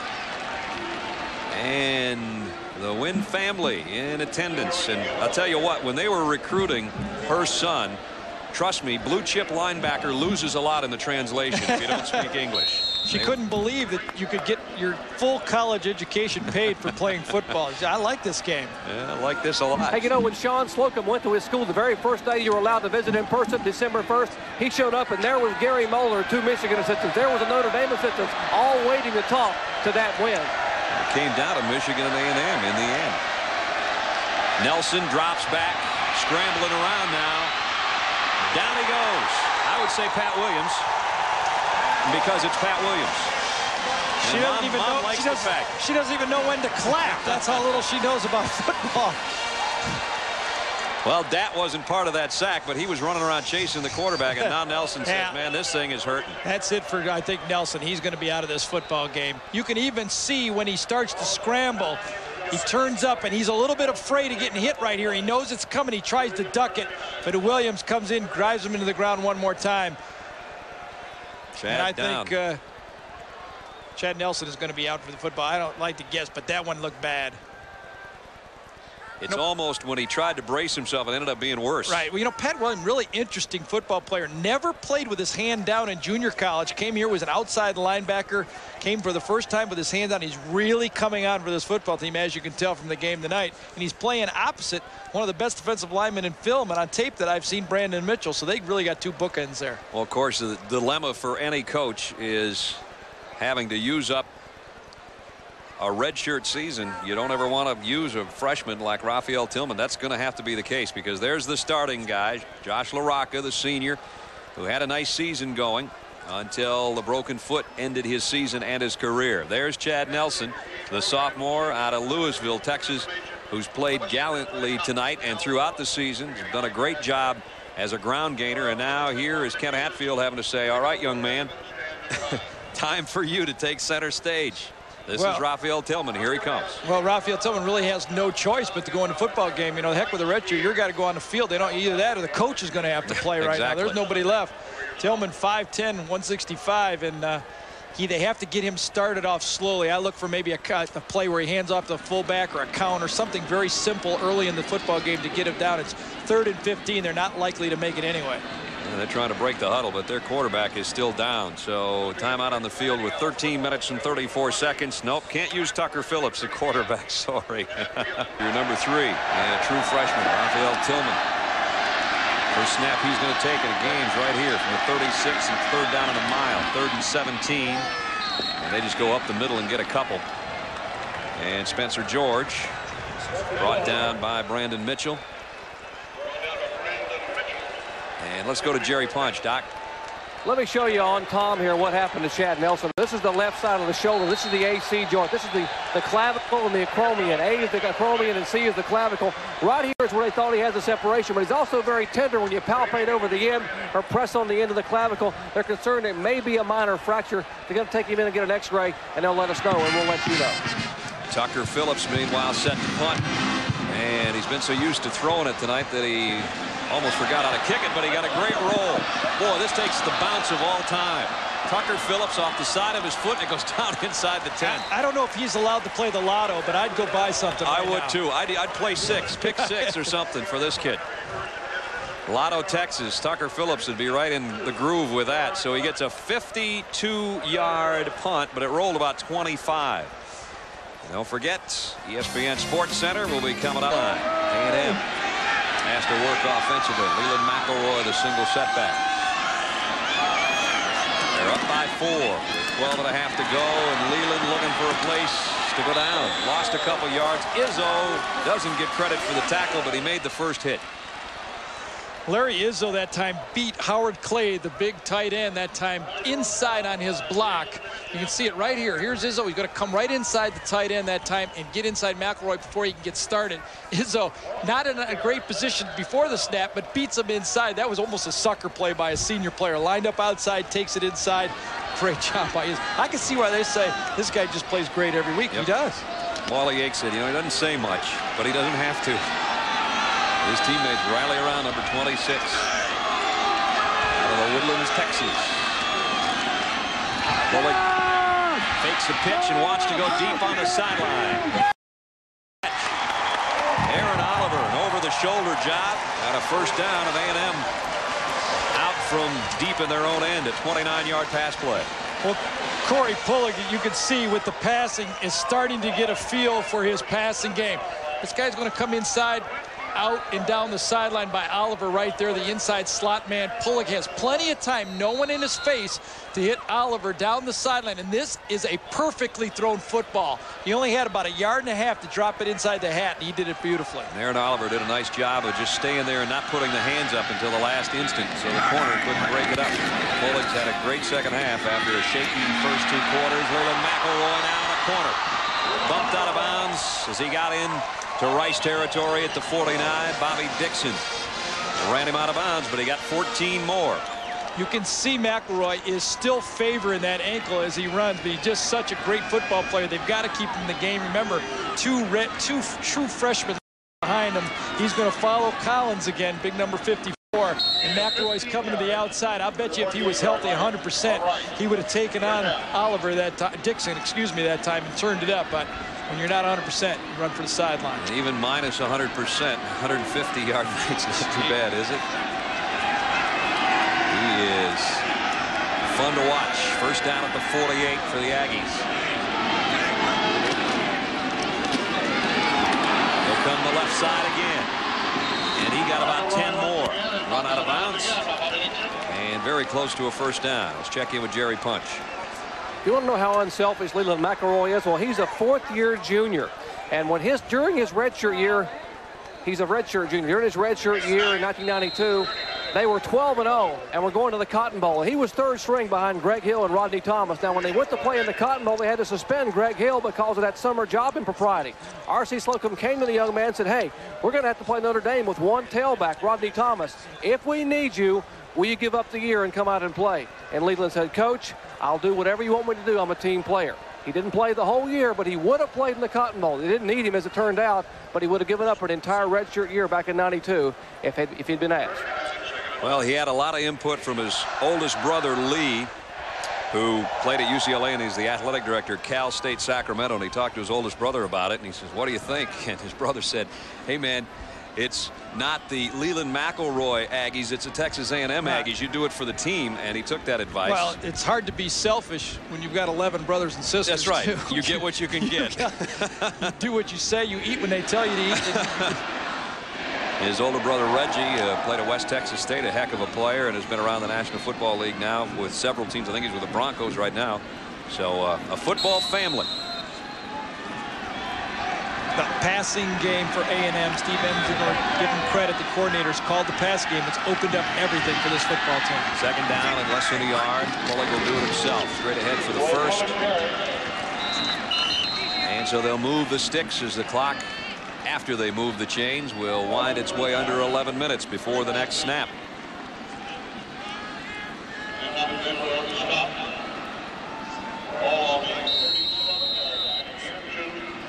Hey, guys, you're talking about McElroy's family. Some of the coaches were chuckling a little bit. You said he's got an older brother who's an athletic director. Well, he can tell him what, how to deal with the agents. He's got one brother who plays in the NFL with the Broncos. He can tell him what the fair market value is.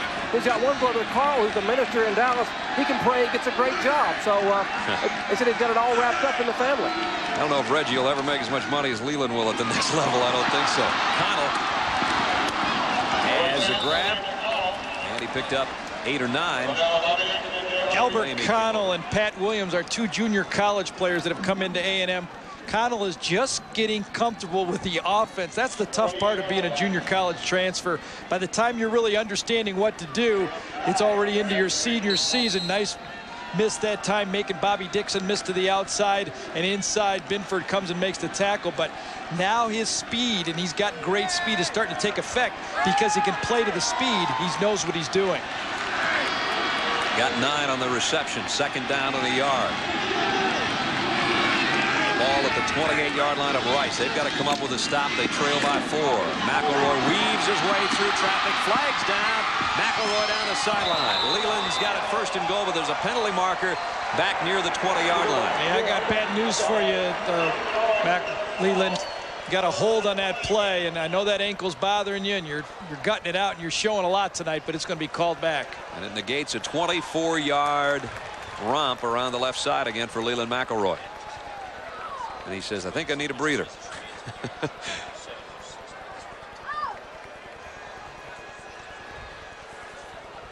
Izzo is a guy who gets it to the outside. I don't really see the hold. There's right the hold right there, coming from right there. The hand on the back. That's what the referee sees. And Aaron. when McElroy cuts inside, you see a handful of jersey that time. Chris Sanders. Outside. Chris Sanders gets the hold. And you see, even when you're hurt as a running back, Leland is going to duck under those hits. It's When you're hurt out there, you feel everything. So he goes out, and D'Andre Hardeman will come in and take his spot in the A&M backfield.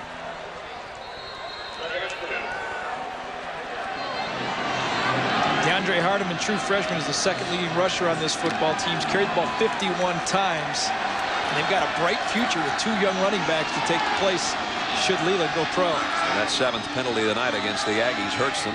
Instead of first and goal, it's back at the 29, and Pullig just takes it down to the 25, maybe the 24-yard line on his own. First down. Kind of bumped into his guard and then bounced it out himself. What a young football team this A&M football team is. They've got nine true freshmen on the two deep on their offense, and they're very young up front. They've got three sophomores, a junior, and only one senior starting in the offensive line. So bright future. They just got to come up with a quarterback. And remember, Brandon Stewart, the transfer from Tennessee, got beat out by Peyton Manning down at Tennessee. He's being redshirted this year at A&M, so he's a possibility a year from now. Got the coaches sort of licking their chops about his potential. From the 24, first down. Blitz coming by Izzo from the backside. Can he track down McElroy? Yes.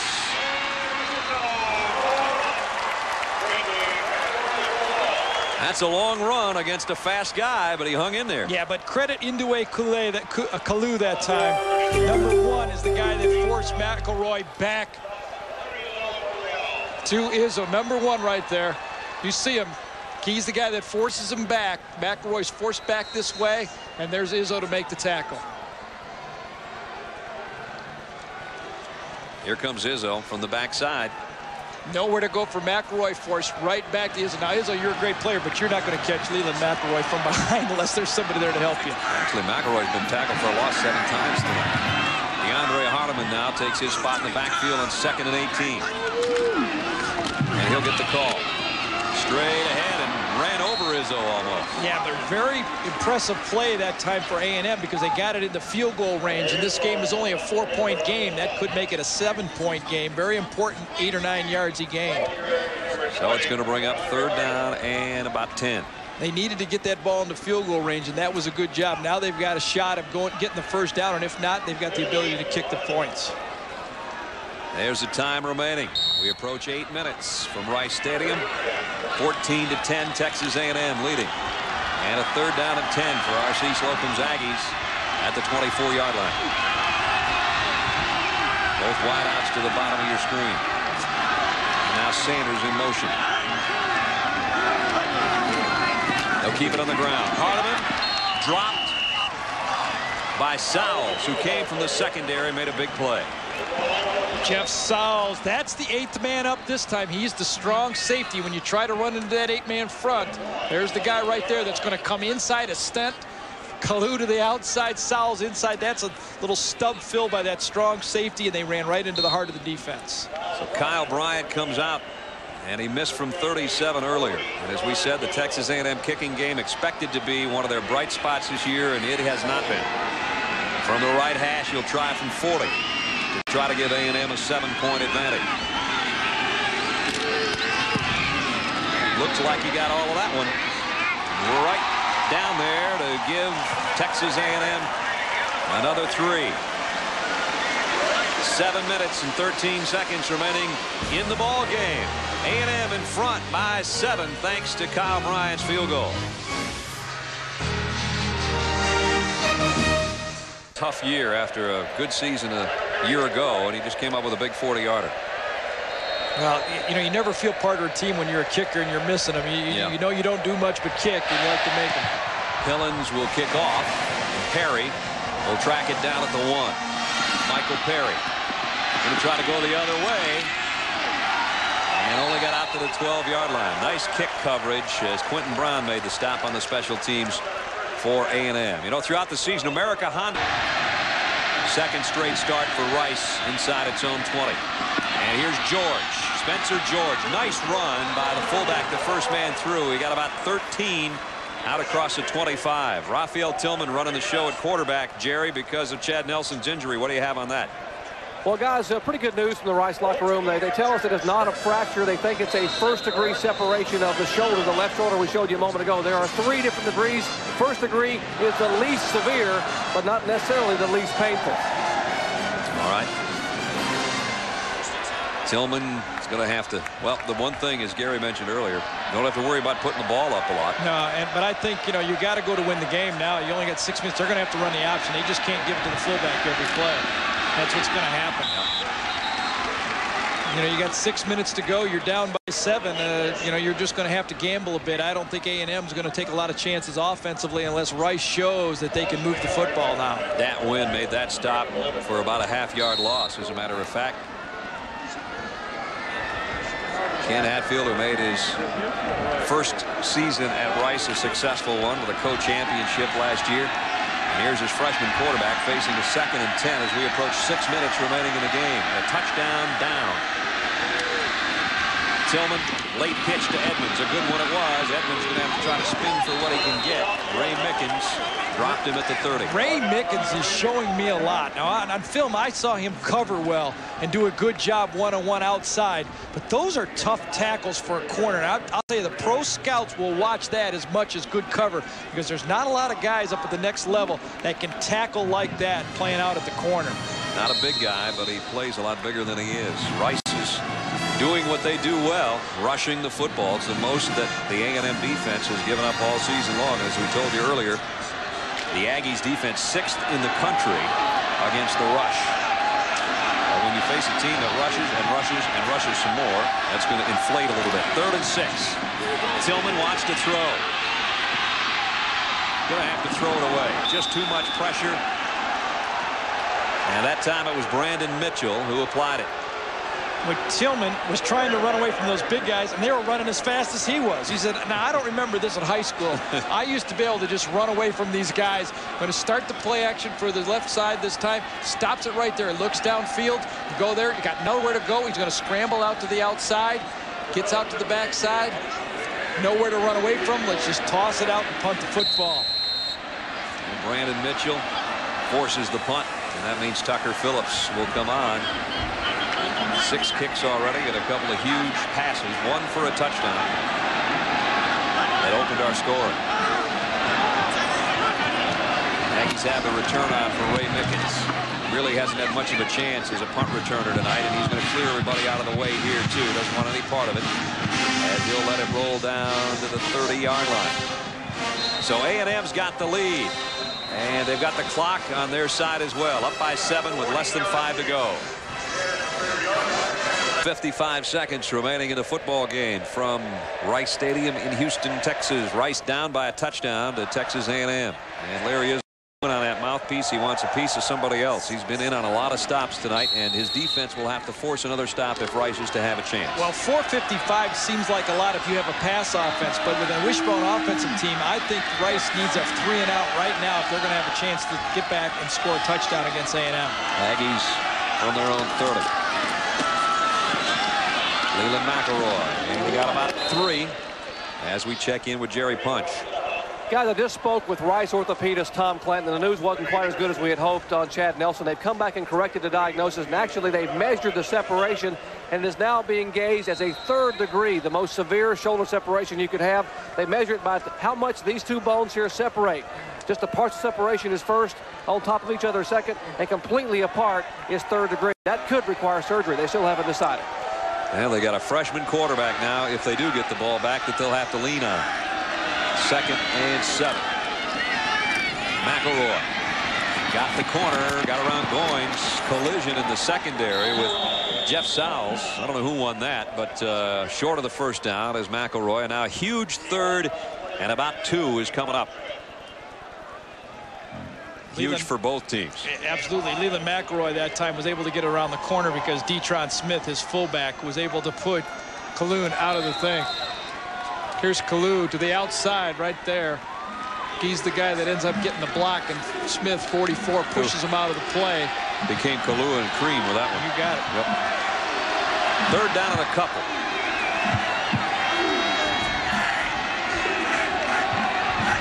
Rice thinking about a blitz. Pullig taking his time, and he's going to take a timeout. Tried to maybe draw him off a little bit with a different count.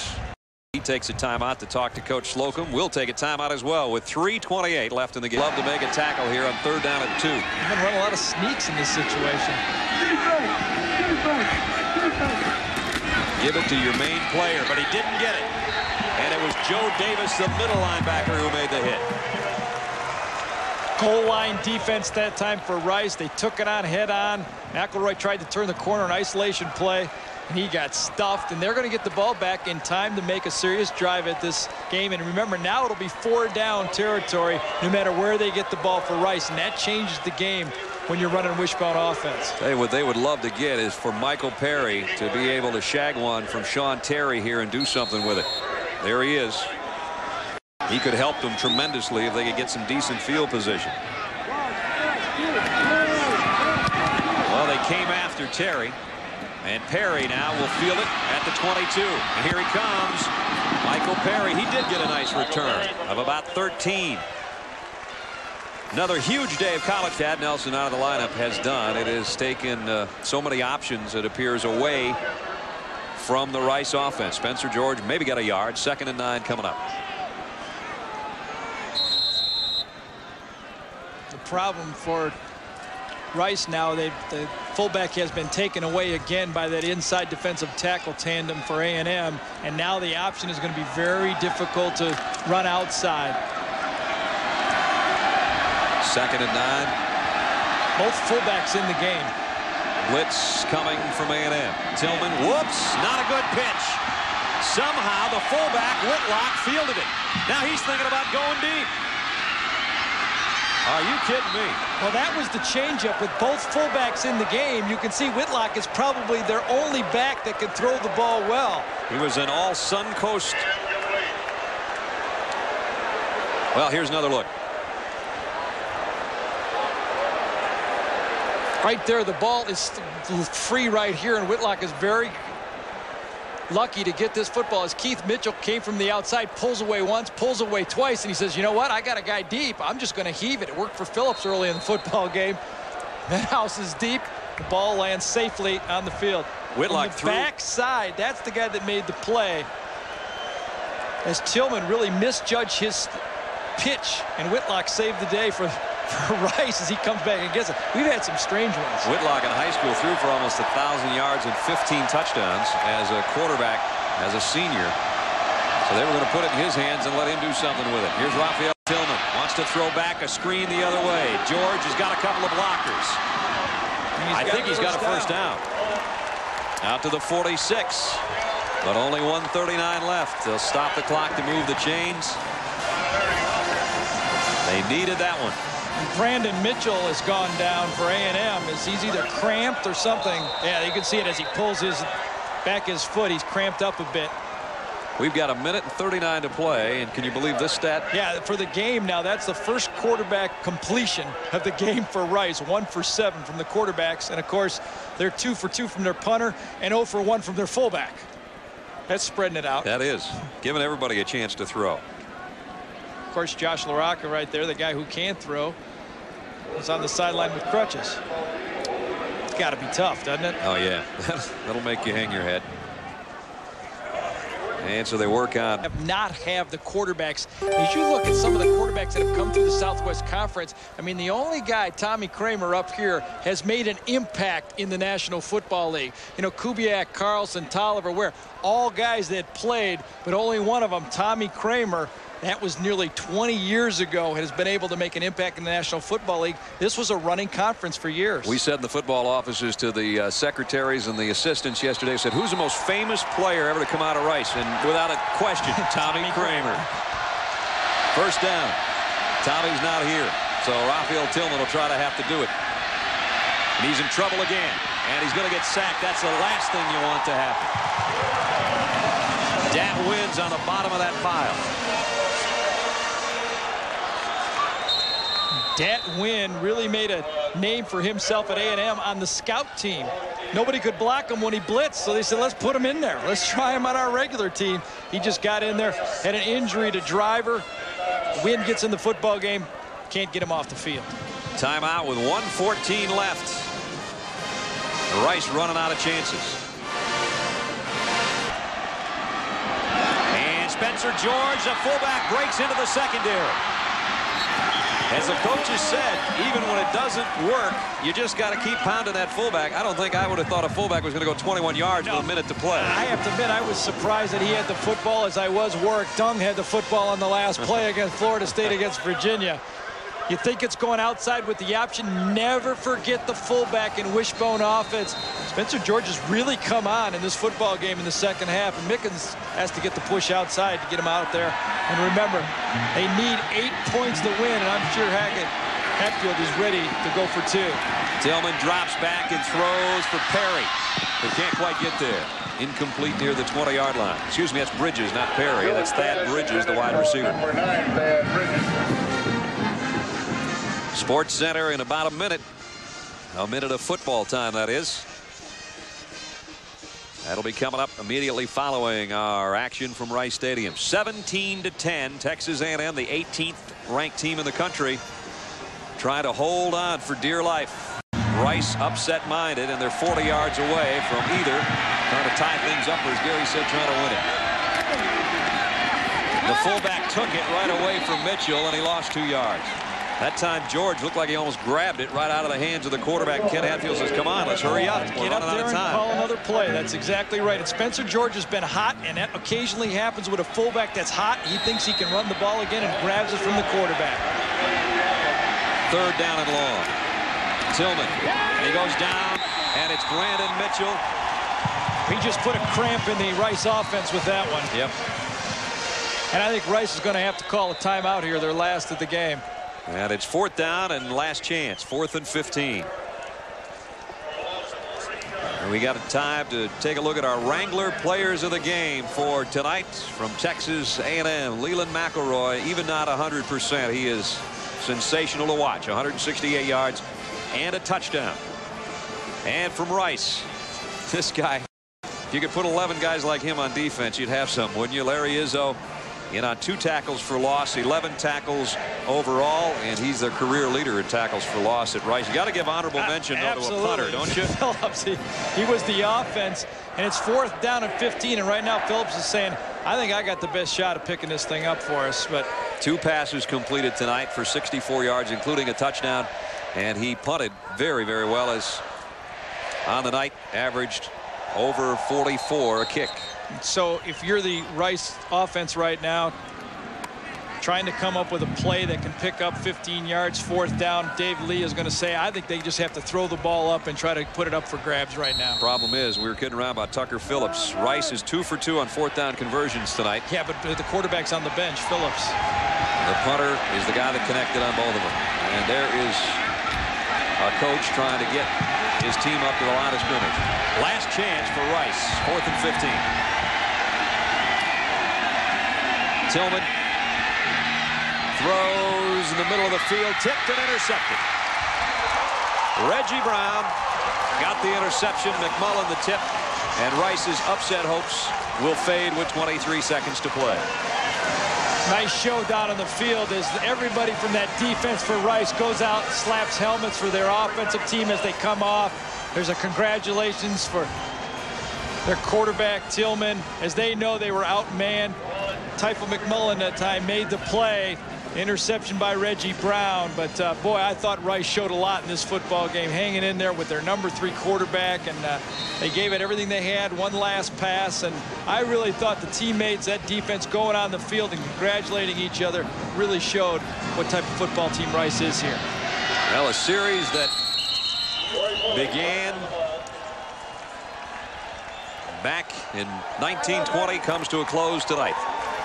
That win, part of it, Texas A&M next up for them, Middle Tennessee State, then TCU, and then a big one against Texas on December 2nd. Tonight they survive a scare from the Owls of Rice. And the final winds down Texas A&M 17 and Rice 10. Stay tuned for Sports Centers coming up next. For Gary Danielson, the Punch Doctor, and our entire ESPN crew, I'm Brad Nessler. Saying goodnight from Houston, Texas. Again, the final score, the 18th-ranked Aggies of Texas A&M 17, the Owls of Rice 10.